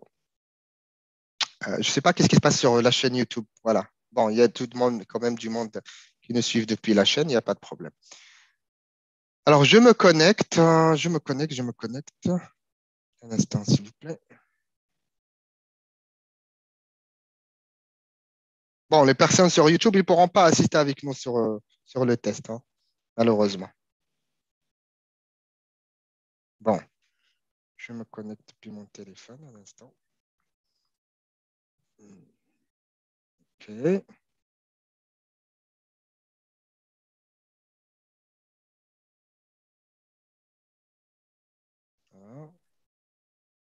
J'active le micro. Désactiver le son. Comment faire un instant?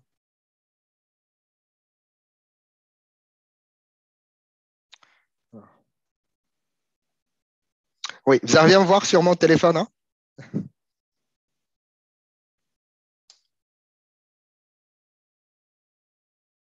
Alors. Je vais inverser l'écran. Oui, c'est bon. Alors, je vais arrêter cette caméra-là. Je passerai par téléphone.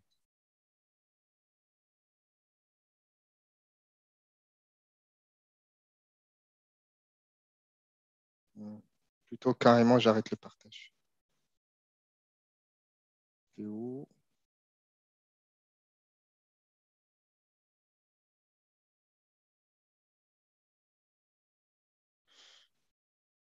Un instant, s'il vous plaît. Stop sharing. Ah, ça, ça serait mieux. Hmm.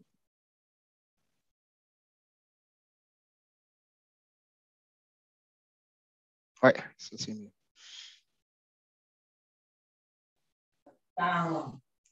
Mettez vos mots sur mute, s'il vous plaît. Bon. Voilà, je vais avoir l'écran. Ça, c'est mon chat.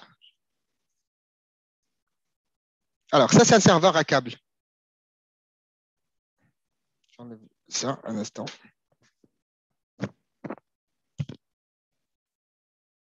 Alors ça, c'est un serveur à câble. Attends, je vais arrêter le caméra un instant. Je vais arrêter cette caméra-là.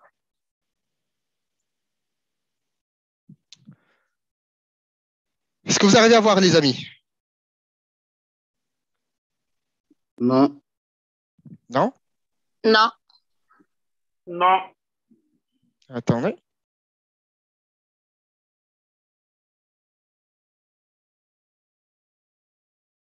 Hmm. Ok, un instant.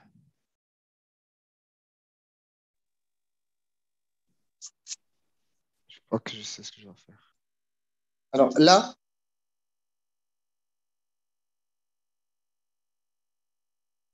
non plus? C'est bon. J'arrive à voir maintenant. Oui, c'est bon.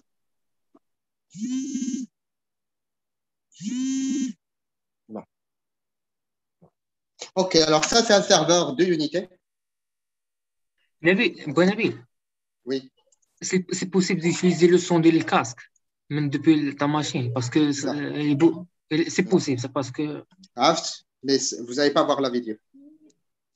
Hmm, Ah non, je augmente un petit peu le prix. Le son, pardon. c'est bon là, vous m'entendez? Ouais, ça, c'est Oui, on entend. Ok. Alors, euh, là, on a deux solutions. On a la solution convergente. Alors, la solution convergente, c'est le châssis.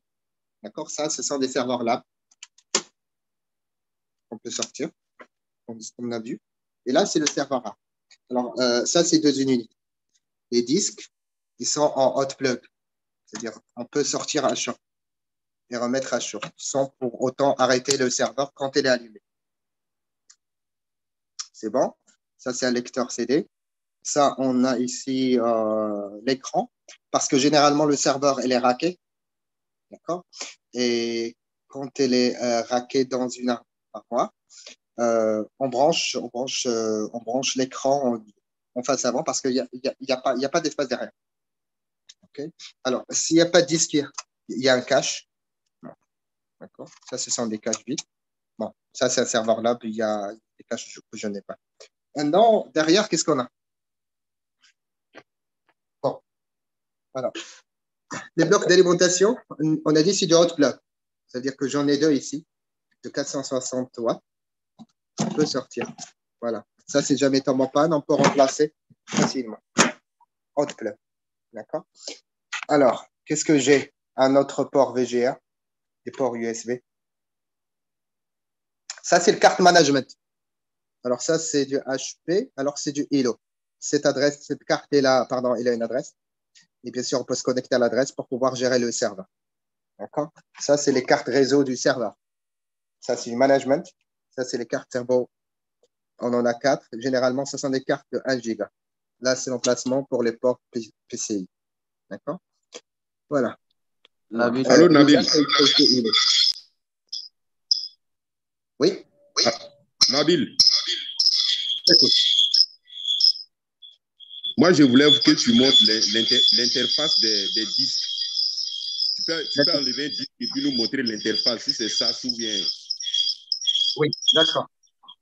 Alors, ça, on, on est ici. Je ne sais pas si ça va être visible par la caméra. Bon, moi, je vais lire. C'est mentionné 10K. Ça veut dire 10 000 tours par minute. Automatiquement, c'est du SAS. À 900 gigas. D'accord? Et j'ai un autre, 15 000 tours par minute. Ça, c'est 146 gigas. Giga. Alors, quand, quand, quand, quand l'espace devient plus petit, la performance euh, est plus importante. Ça veut dire que sur les 15 cas, on va pas trouver des disques durs à, à, euh, bon, généralement, on trouve des 900, mais on va pas trouver euh, 1 Tera, par exemple. C'est très rare. D'accord Pour les 15 cas, on en trouve dans les 300, dans les 600, dans les 900. Euh, pour les DK, on va les trouver dans le 1.2 Tera et 2.4 Tera. Plus que ça, tu vas pas trouver en SAS. Voilà. Et bien sûr, mécanique. hein. On ne parle pas SSD. Ça répond à ta question? Oui, effectivement. D'accord. Là, ici, une carte. C'est le numéro de série d'accord, qu'on utilise généralement pour euh, voir la garantie du serveur. Ça, c'est le bouton marcheur. Et pour racker, on utilise ça pour racker. D'accord? Bon. Et ici, il y a des lumières qui s'allument quand on allume le serveur. Déjà, ça, c'est les barrettes noires qu'on voit ici. D'accord? Alors, euh, s'il y a un problème sur une barrette, ça commence à clignoter.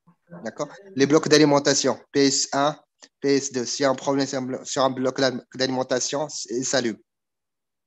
Et ça, c'est le statut des cartes réseau. 1, 2, 3, 4. Bon, à l'intérieur, on jette un, un coup d'œil à l'intérieur du serveur. Nabil, on- quand, euh, quand Pardon? on, on débranche un, un disque et on le euh, re- re- rebranche, est-ce que les données seront perdues ou bien euh, Tout dépendant. Si tu as un RAID 0, c'est perdu. Je ne parle pas de là maintenant parce que le cerveau n'est pas allumé. Le, cadet euh, non, allume. Je ne pas. Tout dépend du RAID. Alors, à l'intérieur, on a les ventilateurs, les fans. Ils sont hot plug aussi. C'est-à-dire que même s'il y a un problème sur un fan, je peux ouvrir, modifier, le, enlever et remettre un autre, il n'y a pas de problème. D'accord? Ça, c'est l'enveloppe. Alors, on en a deux CPU. D'accord Un CPU 1, CPU 2. Attendez.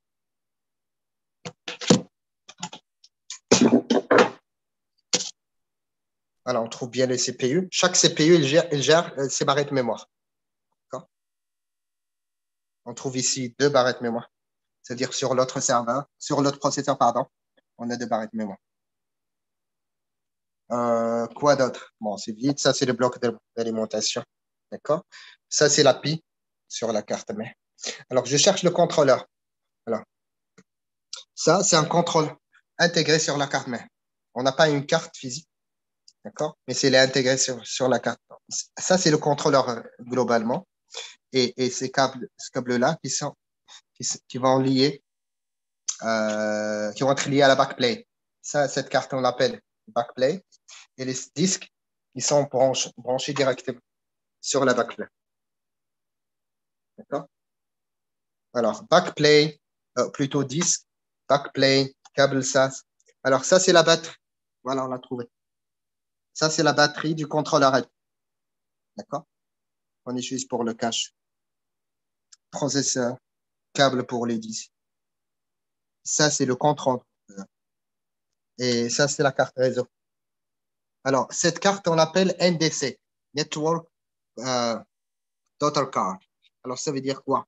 Ça veut dire que euh, tout simplement, même si c'est une carte intégrée, mais on peut la diviser. Alors, l'avantage, c'est quoi? C'est que si jamais cette carte tombe en panne, on peut la changer. D'accord? Euh, Sinon, ça donne plus de possibilités pour les constructeurs. Genre quoi? Euh, Je peux avoir, par exemple, deux ports 10 gigas et deux ports 1 giga, deux ports base T, deux ports FFP. Bon, beaucoup de détails là. Là, ce sont des emplacements pour des cartes PC.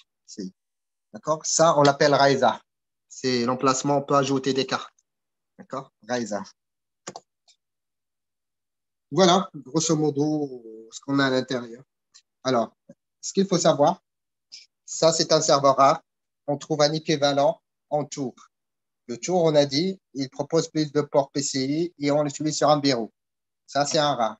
Sinon, la troisième possibilité qu'on a, c'est une solution convergente. Alors, convergente, c'est quoi? C'est qu'on a les serveurs, on a le stockage, on a des emplacements pour deux autres serveurs. À l'arrière, on a de la ventilation. Alors, ventilateur, ventilateur, ventilateur, ventilateur. Ça veut dire que la ventilation est partagée entre les serveurs. Les alimentations. On a aussi des blocs d'alimentation haute bloc. D'accord? La même chose pour les disques. Et on a des emplacements pour des cartes PC qu'on peut, qui, en fait, qui peuvent partager. Et, là, c'est le card management. C'est l'équivalent de Lilo. Maintenant, ici, ça, c'est Dell. Cette carte, on l'appelle la CMC. Il permet de gérer tous les serveurs. Aussi, on a le network. Ça, c'est un switch. Vous voyez, il y a des ports. Alors, tout est connecté à l'intérieur. Maintenant, pour que les serveurs puissent communiquer en, en externe, on passe par un switch. Et ça, c'est le switch. D'accord? Bon. Euh, Est-ce que c'est clair? Vous avez des questions? Oui. Oui.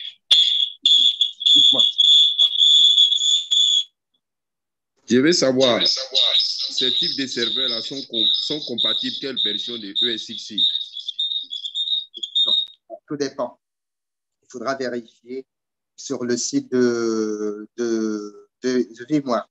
Qu'est-ce qu'on appelle la HCL Tu as la version de ESXi. Tu tapes sur les serveurs qui sont compatibles Dell, HP, il va te sentir tous les serveurs. Je pourrais te montrer ça après. Alors, sinon, ça, c'est le management. Alors, on peut y accéder pour voir les adresses IP. Je ne sais pas si c'est lisible.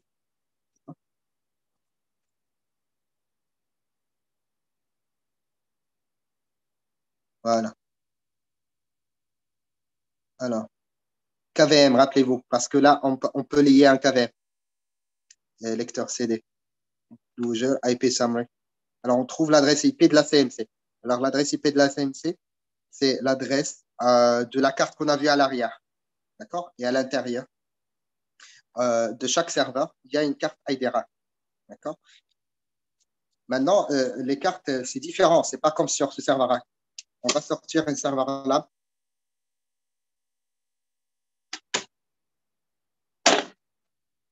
Voilà. Bon, ces serveurs, ils présentent pratiquement la même chose. Un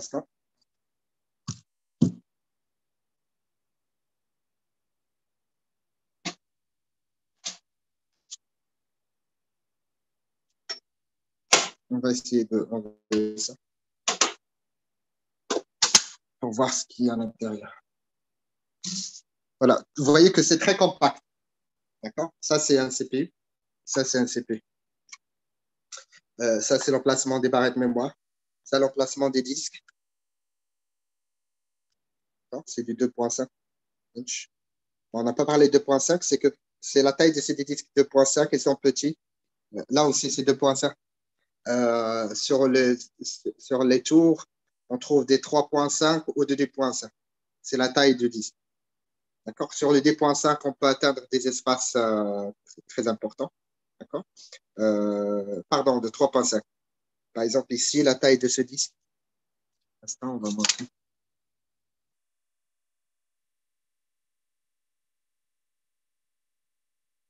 Alors, c'est du SAS, 146 Go, 15 000 tours par minute. D'accord? Maintenant, si c'est de 3 Tera, par exemple, les disques qu'on a vus de 18 Tera, ils ne peuvent jamais être en 2.5. C'est forcément 3.5.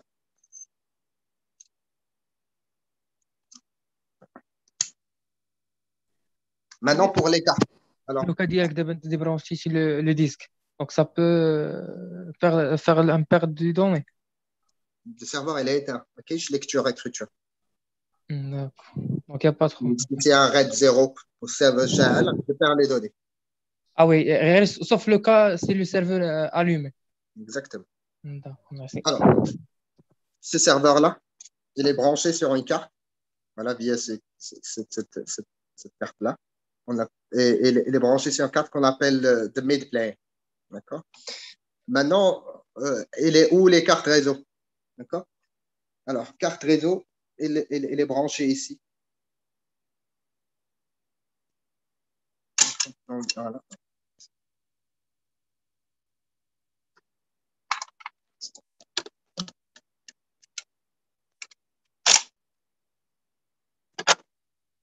Alors, ça, c'est la carte. Vous voyez que c'est différent.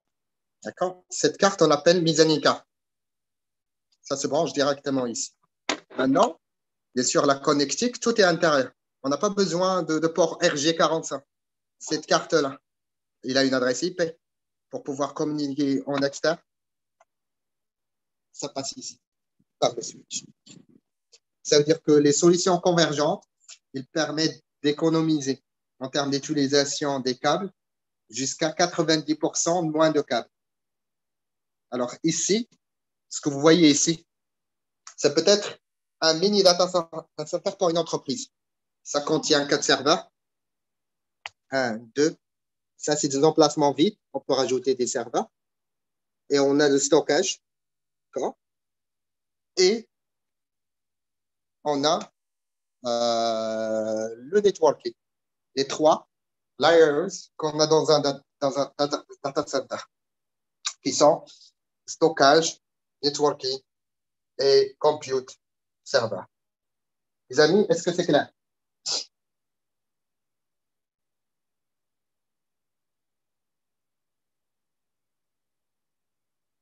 Voilà.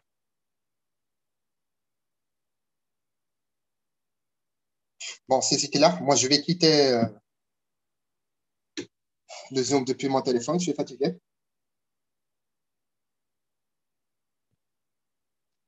On ferme ça.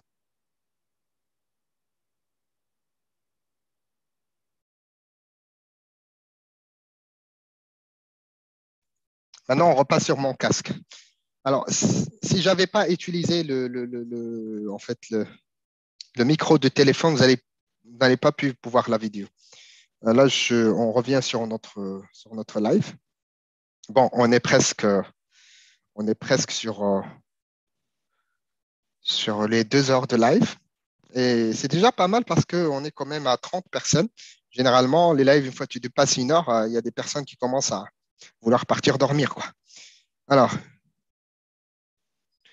clustering, euh, clustering, c'est peut-être ces serveurs qu'on a sur le, sur le, sur le, le, Converged Solution, ça peut être les serveurs normaux. D'accord Un serveur normal. Clustering, c'est une, une technologie plus que le type de serveur. Anyway, alors maintenant, on n'a pas terminé, les gars. Je vais vous montrer une petite autre démonstration. D'accord Euh, On va accéder sur le carte management. Je vais partager à, à- à- nouveau ça. On va prendre, bien sûr, euh, des minutes pour faire cette démonstration. On passe au quiz directement. D'accord Alors. Voilà. Alors maintenant, on a dit pour la carte CMC comment on se connecte. Il a une adresse IP. Alors, quelle est l'adresse IP Bon, moi, je connais l'adresse IP. Elle était sur, le, sur la démonstration déjà quand j'ai montré les adresses IP. Alors, c'est 192.168.1.120. J'espère qu'elle est bien connectée. Oui, elle est bien connectée. C'est bien. Voilà. Et là, je me connecte sur la CMC. Et on m'a dit que la carte CMC il permet de gérer tout le châssis avec tous les serveurs qu'il y a dedans, les cartes et tout.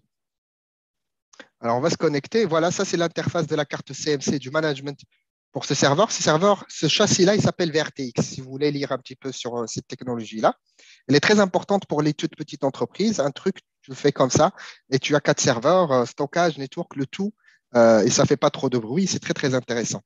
Alors, bon, je mets l'user et le mot de passe pour voir un petit peu l'interface du management.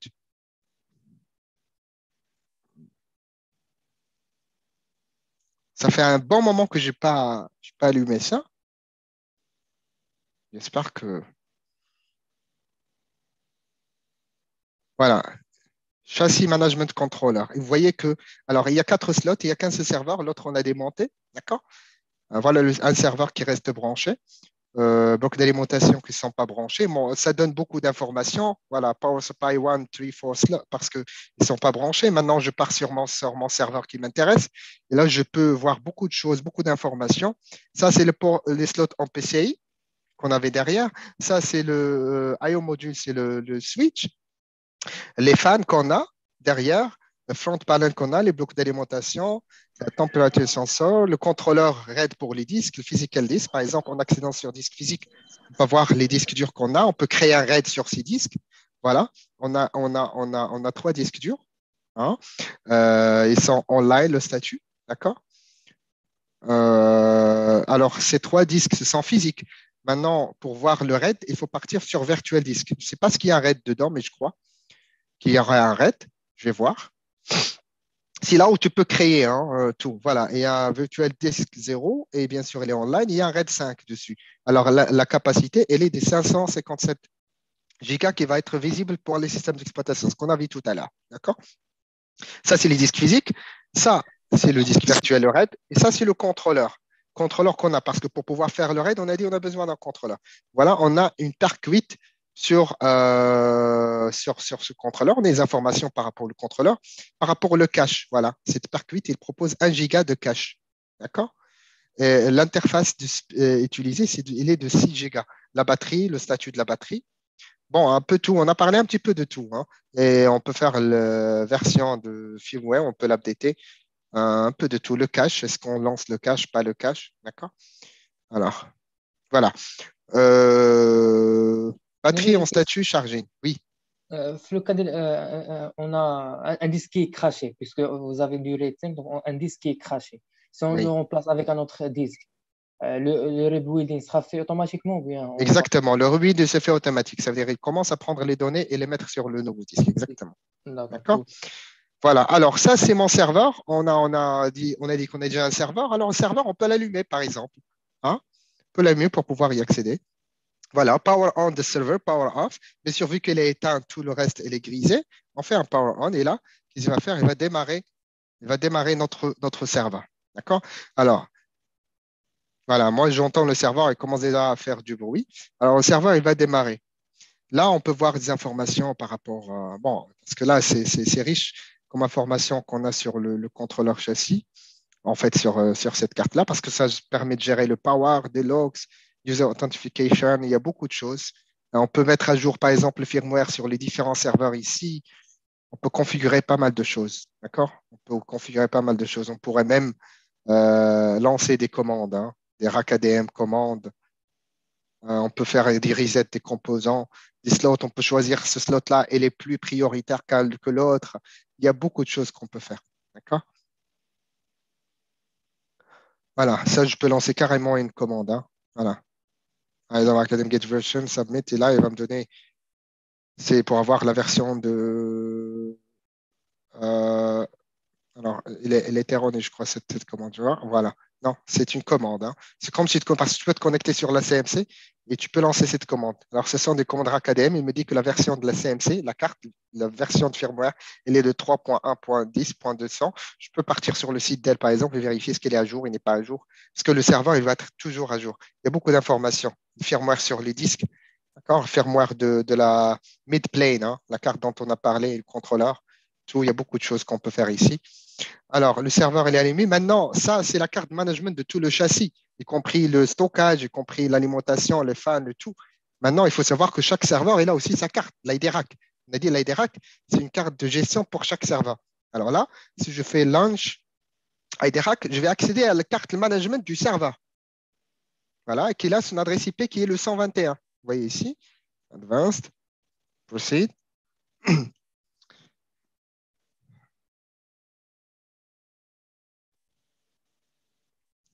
Bien sûr, avec un user et un password.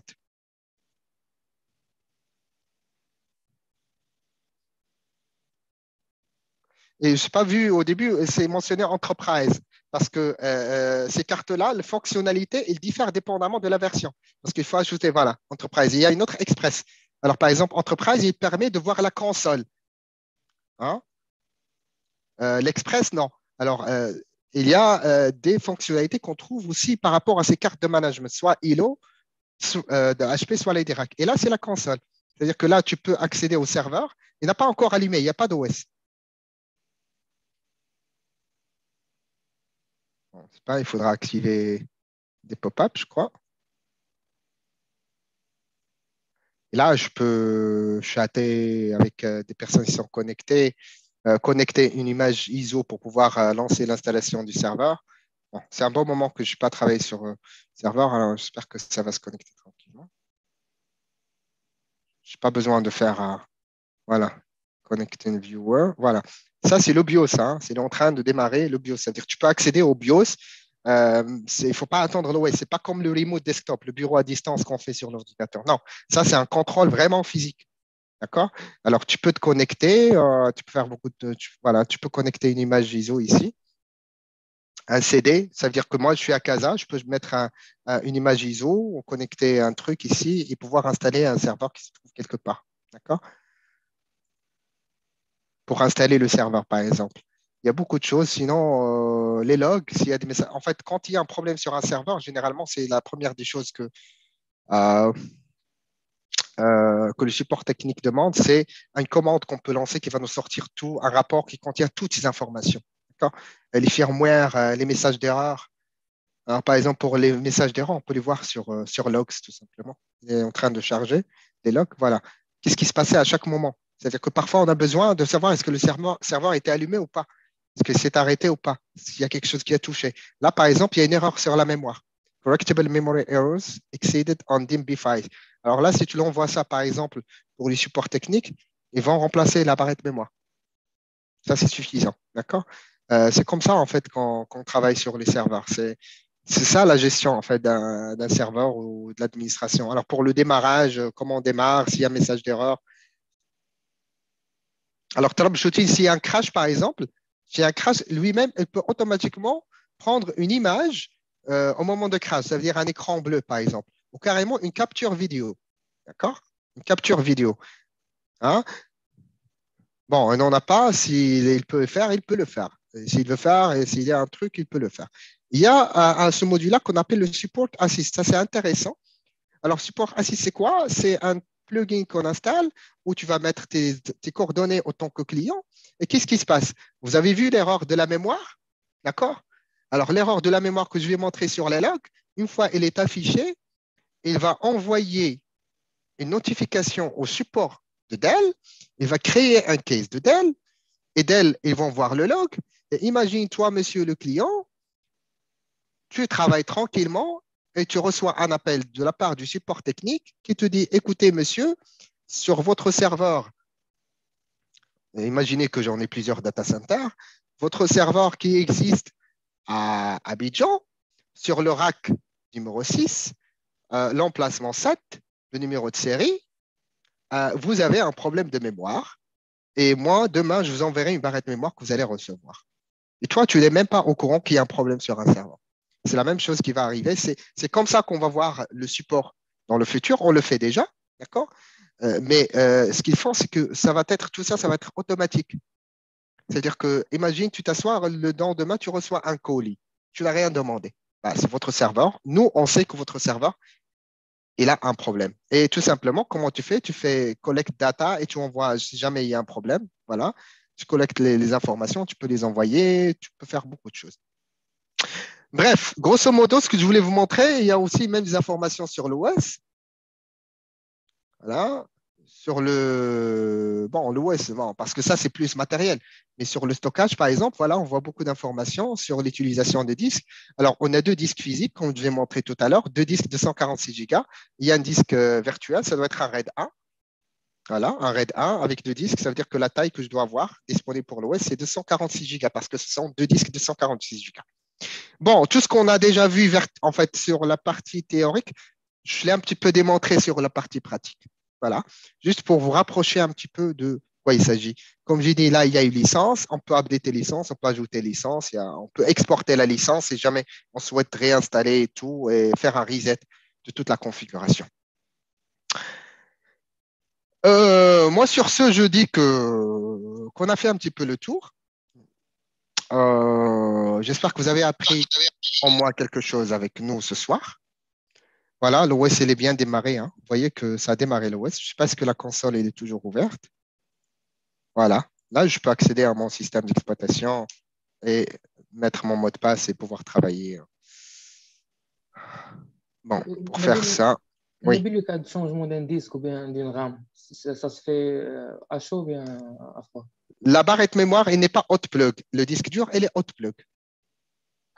Ah, D'accord si c'est un problème de, euh, de disque, c'est un problème de fan, si c'est un problème euh, je sais, de bloc d'alimentation, ce sont des composants qui sont hot plug.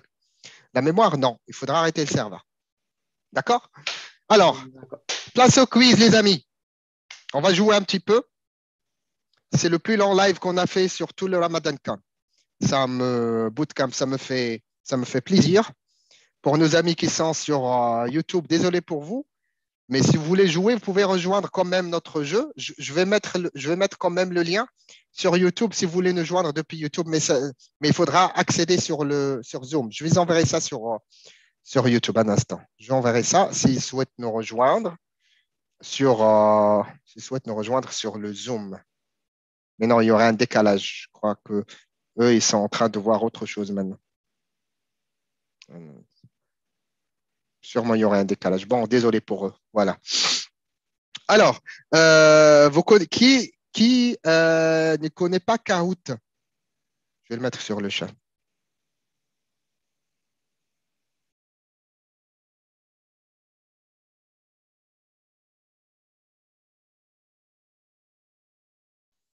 Alors, qui, celui qui connaît Kahoot, qu'il me tape le chiffre 5, s'il vous plaît. Et celui qui ne le connaît pas, il me tape le chiffre 7. Celui qui connaît, 5. Il ne connaît pas le chiffre 7. Les personnes qui ont l'habitude de jouer avec nous, ils doivent connaître ça et sont prêts pour gagner. Ils sont là pour gagner. Hein. Ils sont là pour gagner. D'accord, Moulay Moulaitar, il est prêt, il demande d'envoyer le code parce que c'est lui qui a gagné la dernière fois. Il faut avoir une bonne connexion Internet, les amis. Alors, je vous enverrai le code un instant. Alors, Kahoot, c'est un site où il y aurait des questions qui vont s'afficher. Vous allez lancer le code PIN depuis, euh, depuis votre téléphone. Vous pouvez jouer depuis votre téléphone ou votre PC. Une fois il y aurait euh, une question, vous allez pouvoir y répondre. Et à la fin, celui qui va répondre à toutes les bonnes questions, et surtout, il y a aussi la vitesse de la réponse qui va jouer. Et on va voir qui va gagner à la fin. Ne vous inquiétez pas, il y a toujours un début pour quelque chose. Au moins, vous allez apprendre avec nous c'est quoi le, le. Alors, où mon truc un instant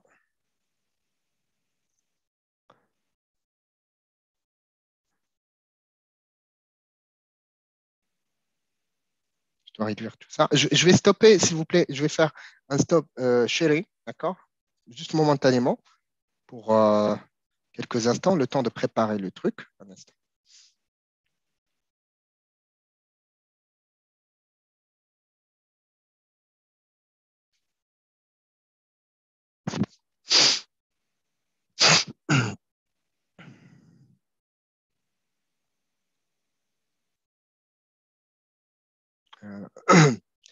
Voilà, serveur technologie.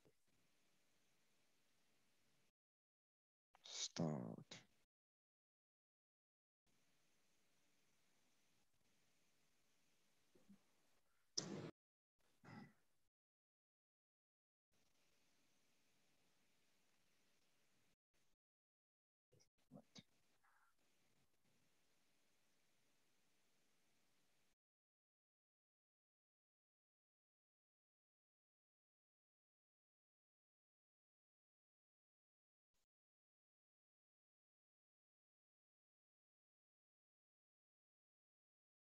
Voilà, je montre ici.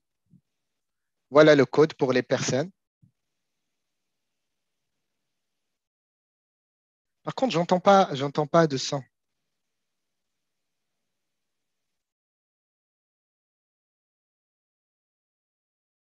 Alors, euh, pour les personnes, euh, ils peuvent accéder depuis ça, depuis kahoot.it. Et vous mettez ce code PIN-là. Je copie le lien, je l'enverrai quand même sur le Zoom.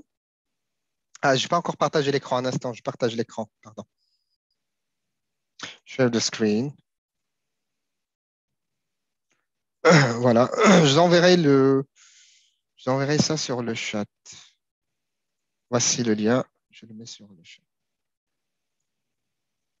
pourquoi il n'y a pas de son? Voilà, accédez au lien que j'ai envoyé sur le chat. Et mettez votre nom et votre prénom, s'il vous plaît. Avec le son, c'est plus intéressant. Voilà, on a déjà un premier. Lionel.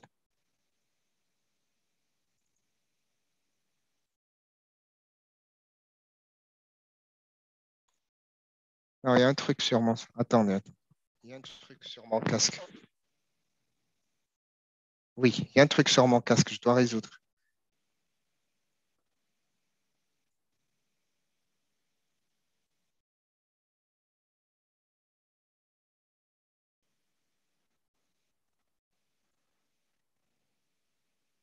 Est-ce que, vous entendez la musique de, l'application, non?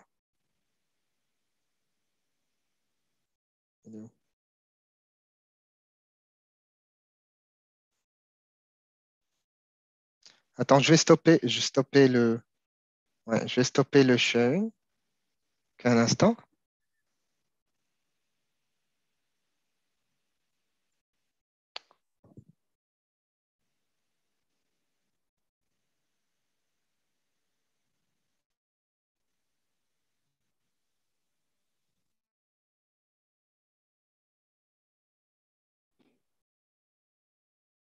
Test. Yes.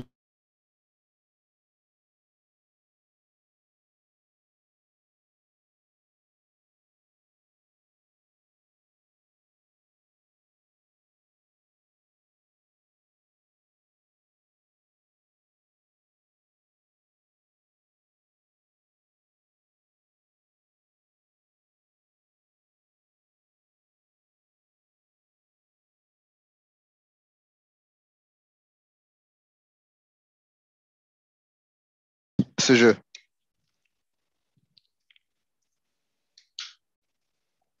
Mais vous arrivez à m'entendre, moi. Hein, il n'y a pas de problème.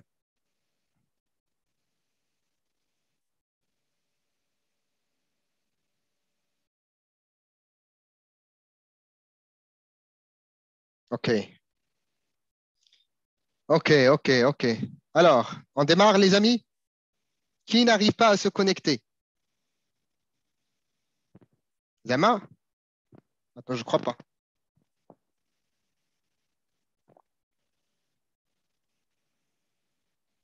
Je connecte mon chargeur. Vous m'entendez, les gars? Si vous m'entendez, tapez le chiffre 5, s'il vous plaît. Allô?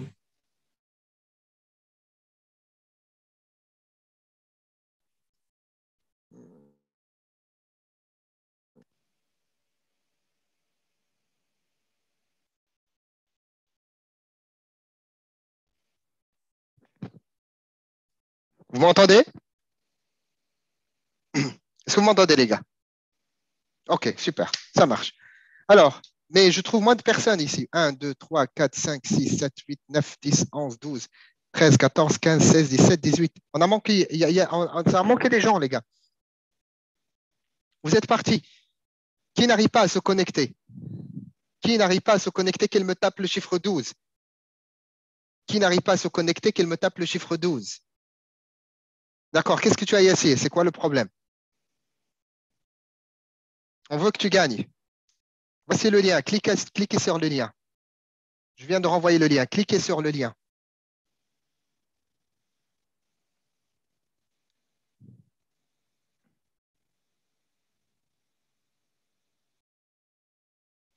Qu'est-ce qui se passe quand vous cliquez? Qu'est-ce qui se passe? Voilà, Nassim, je crois que tu étais connecté.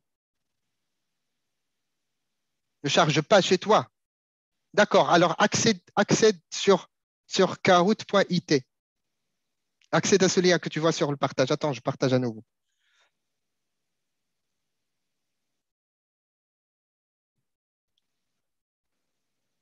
Accède, accède sur le lien kahoot.it et tape ce code-là.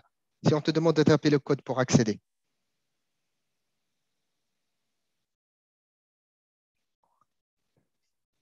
1, 2, 3, 4, 5, 6, 7, 8, 9, 10, 11, 12, 13, 14, 15, 16, 17, 18, 19.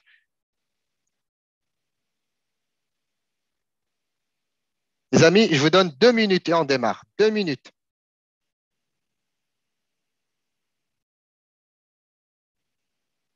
C'est bon, parce que c'est tard. Hein? C'est tard, c'est tard maintenant.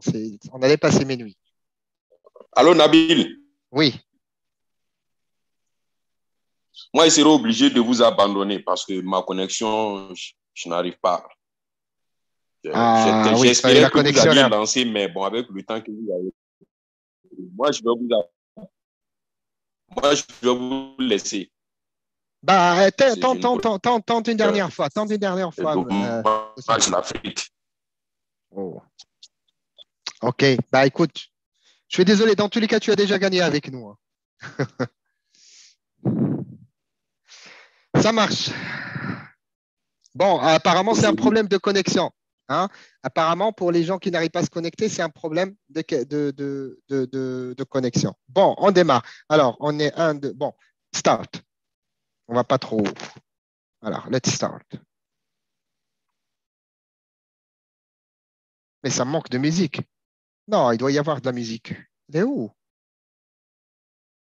Peut-être qu'il y a un problème sur la configuration. Bon, il n'y a pas.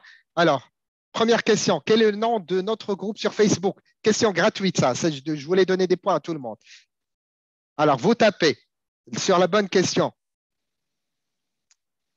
Community African IT, IT African Community, African IT Community, Training for Less. Vous cliquez sur la bonne réponse.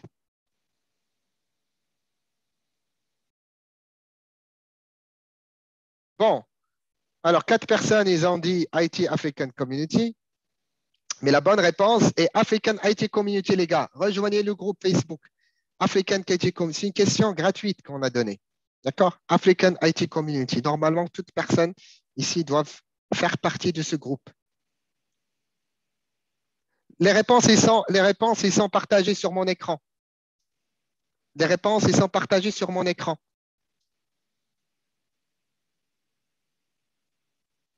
Ça, c'est une question test. Ça, c'est une question test. D'accord? Voilà. C'est bon? Tout le monde sait comment répondre maintenant?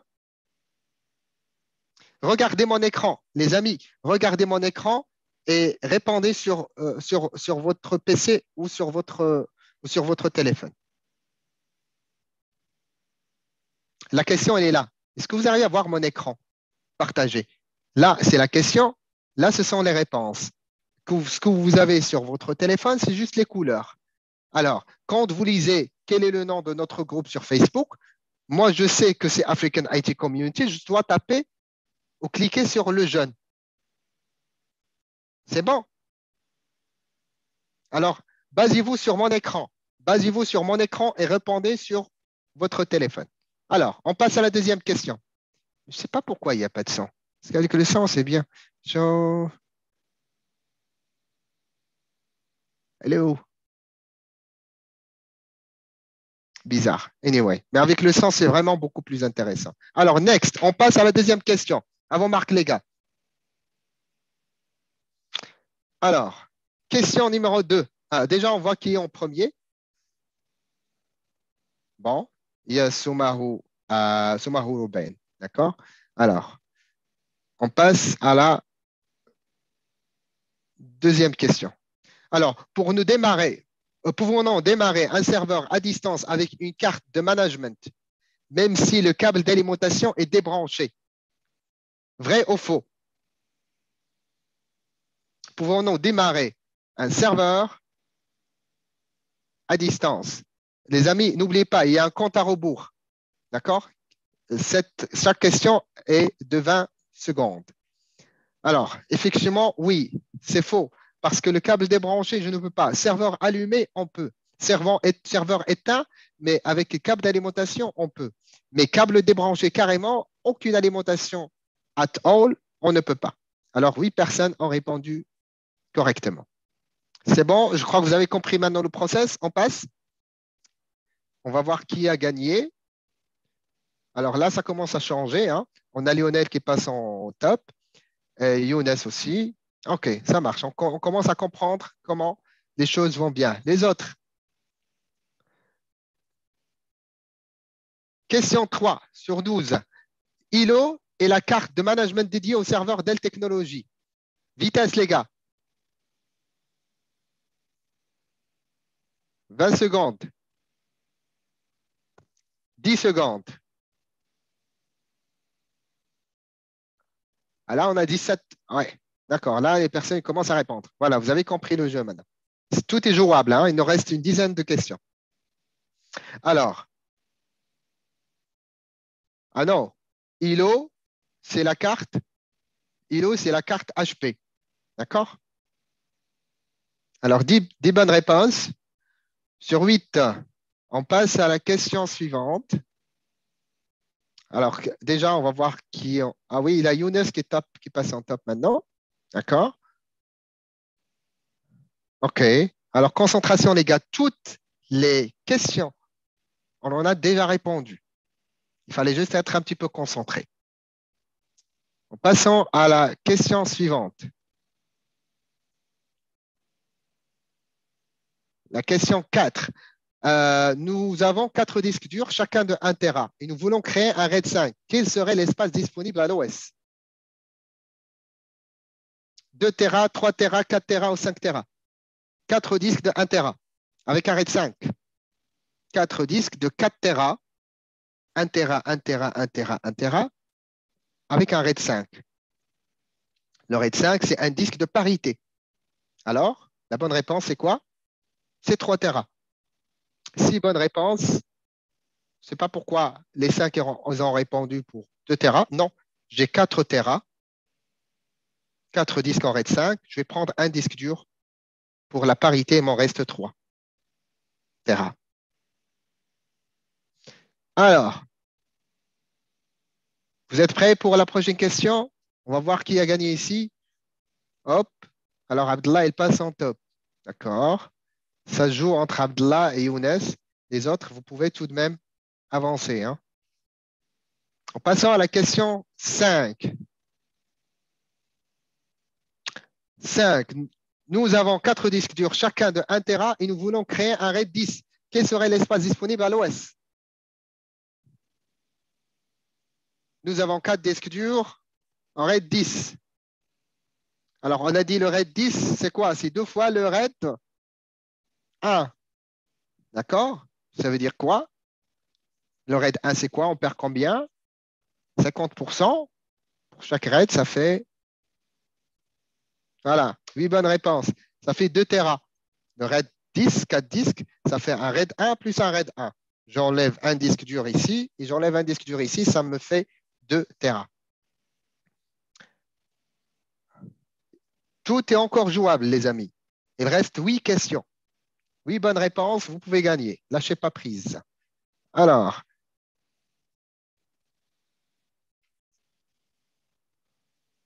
ouais, c'est bien, Abdallah, il avance. Si c'est, hein, si c'est, tu es là, hein, tu réponds. Quand même, tu es sur les cinq premiers. Vas-y. Alors, passons à la question 6.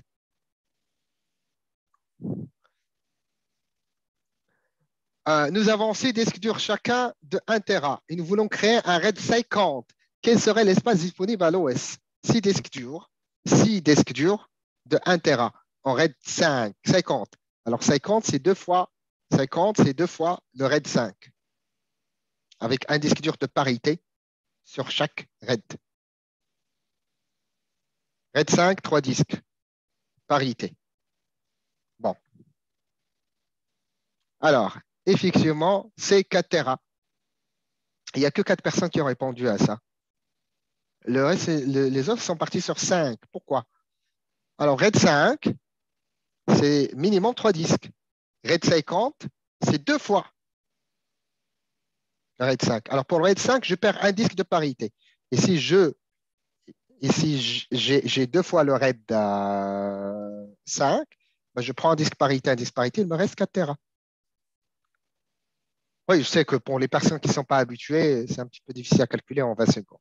Non. C'est pour ça qu'il n'y a qu'un seul gagnant. Voilà, c'est la règle du jeu.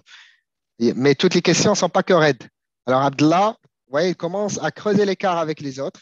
Si c'est, il est en troisième position. Iman, j'aimerais te voir sur le podium. On aimerait avoir une fille quand même. Alors, passons à la question numéro 7. IDRAC est la carte de management dédiée au serveur Dell. Vrai faux? C'est un cadeau. Ça, c'est un cadeau de ma part. IDRAC est la carte de management. Voilà, 10, 10 bonnes réponses. Alors, ILO, c'est pour HP, IDRAC, c'est pour Dell. Rappelez-vous de ça, les amis les amis. Heiderak pour Dell, ILO pour HP. Oui, Abdallah toujours en tête. Passons à la question numéro 8. Toujours, rien n'est encore joué. L'utilisation de la console à distance permet-elle de visualiser le BIOS à distance? Est-ce qu'on peut visualiser le BIOS à distance? Le BIOS à distance, est-ce qu'on peut le visualiser? Via la carte de management, vrai ou faux? On l'a fait, hein on l'a fait. On l'a fait, on l'a montré sur le lab. Bon, 17 personnes qui ont répondu. voilà, oui, on peut le faire. On peut le faire. Les deux autres, j'étais en train de dormir. Alors, passons à la question 9. On s'approche, les amis. Alors, on va voir qui est en tête. Ah là, là, ça, oui, là, ça se commence à jouer. Hein. D'accord? Alors, une question, deux questions, ça peut faire la différence. Bon, question numéro 9. Attention, quel est le composant qui n'est pas, n'est pas hot plug dans un serveur rack Est-ce que c'est le power supply, le bloc d'alimentation, le fan, la mémoire ou le disque? Quel est le composant qui n'est pas hot plug? Vous savez, plug, on a dit, c'est qu'il se branche à chaud. On n'a pas besoin d'arrêter le serveur pour euh, le brancher. Alors, alors, sept personnes disent la mémoire, cinq personnes disent le disque. Alors, les, personnes qui ont dit le disque, n'ont pas lu la question. Les composants, le composant qui n'est pas hot plug. D'accord? Parce que le bloc d'alimentation, je vais montrer sur la vidéo que je l'ai débranché. Le fan, je l'ai débranché. Le disque, je l'ai débranché, mais je n'ai pas débranché la mémoire. D'accord? Je suis entièrement, satisfait de ce test parce que tout ce que nous avons vu, il est déjà dans le test. Alors, ouais, Abdullah qui ne veut pas lâcher prise et Younes qui revient de loin. OK. Alors, il y a trois questions. Moussa aussi, toi, tu peux jouer. Hein. Même les cinq personnes, ils pourront, gagner. Alors, question numéro 10. Quel type de serveur est utilisé dans une solution convergente? Bon, j'ai mes solutions deux fois. Est-ce que c'est un serveur rack, un serveur tour, un serveur blade ou un serveur cloud? Solution convergente, le châssis qu'on a vu, le châssis, type de serveur, Je la ferme parce que là, je suis en train de Alors, sept personnes disent que c'est un blade. Effectivement, serveur LAM, mes amis. Le serveur LAM, celui-là. Là, c'est un serveur Blade, les amis. Ça, c'est un serveur Blade. Un serveur LAM, il n'est pas visible depuis la vidéo, je ne sais pas, mais vous l'avez vu tout à l'heure. Ça, c'est un serveur Blade. Alors, le rack, euh, c'est l'autre serveur qu'on a vu. Hein. Next. Est-ce qu'il y a un changement? Oui, oui, pas de changement. Alors pour moi, ça va se jouer entre ces quatre. Il reste deux questions. Non, trois questions. Alors, à vous de jouer.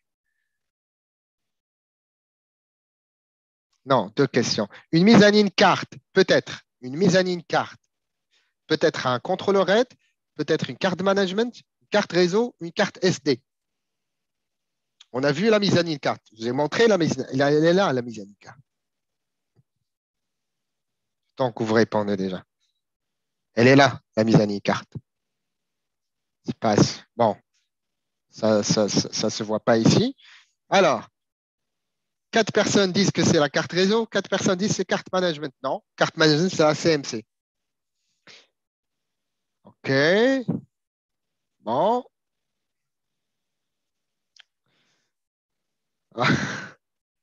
Je crois qu'on a, a une idée très claire par rapport au gagnant. Parce que la question suivante, c'est une question très, très, très, c'est une question très importante. C'est la question la plus importante sur toute la formation. Et j'aimerais que vous soyez honnête par rapport à cette réponse-là. Alors, comment jugez-vous la qualité de ce webinaire Est-ce qu'elle est très bien, bien passable ou c'est médiocre?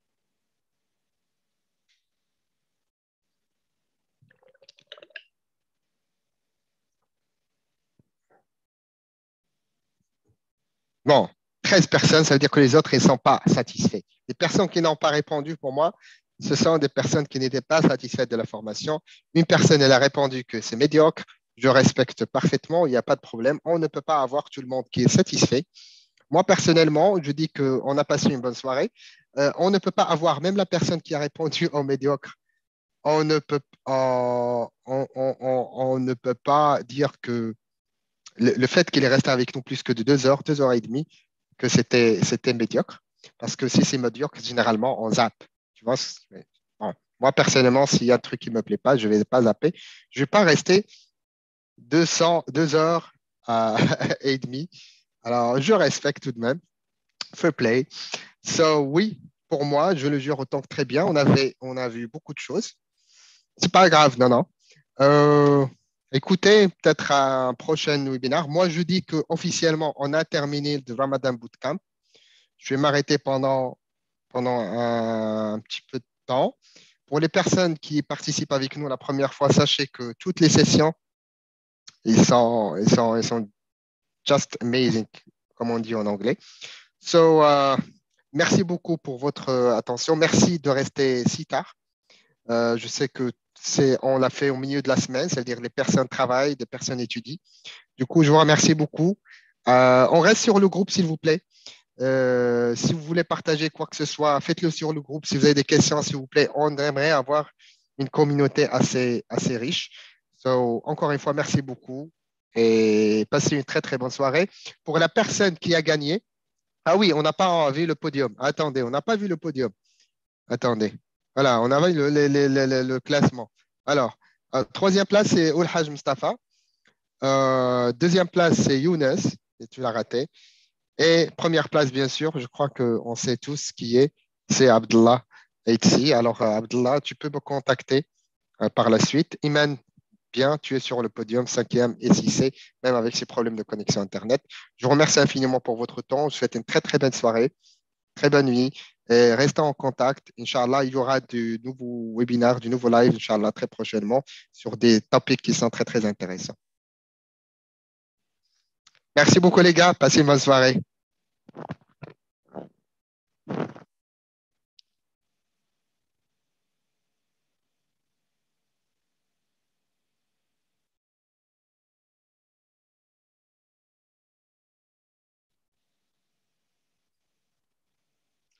Alors, stop.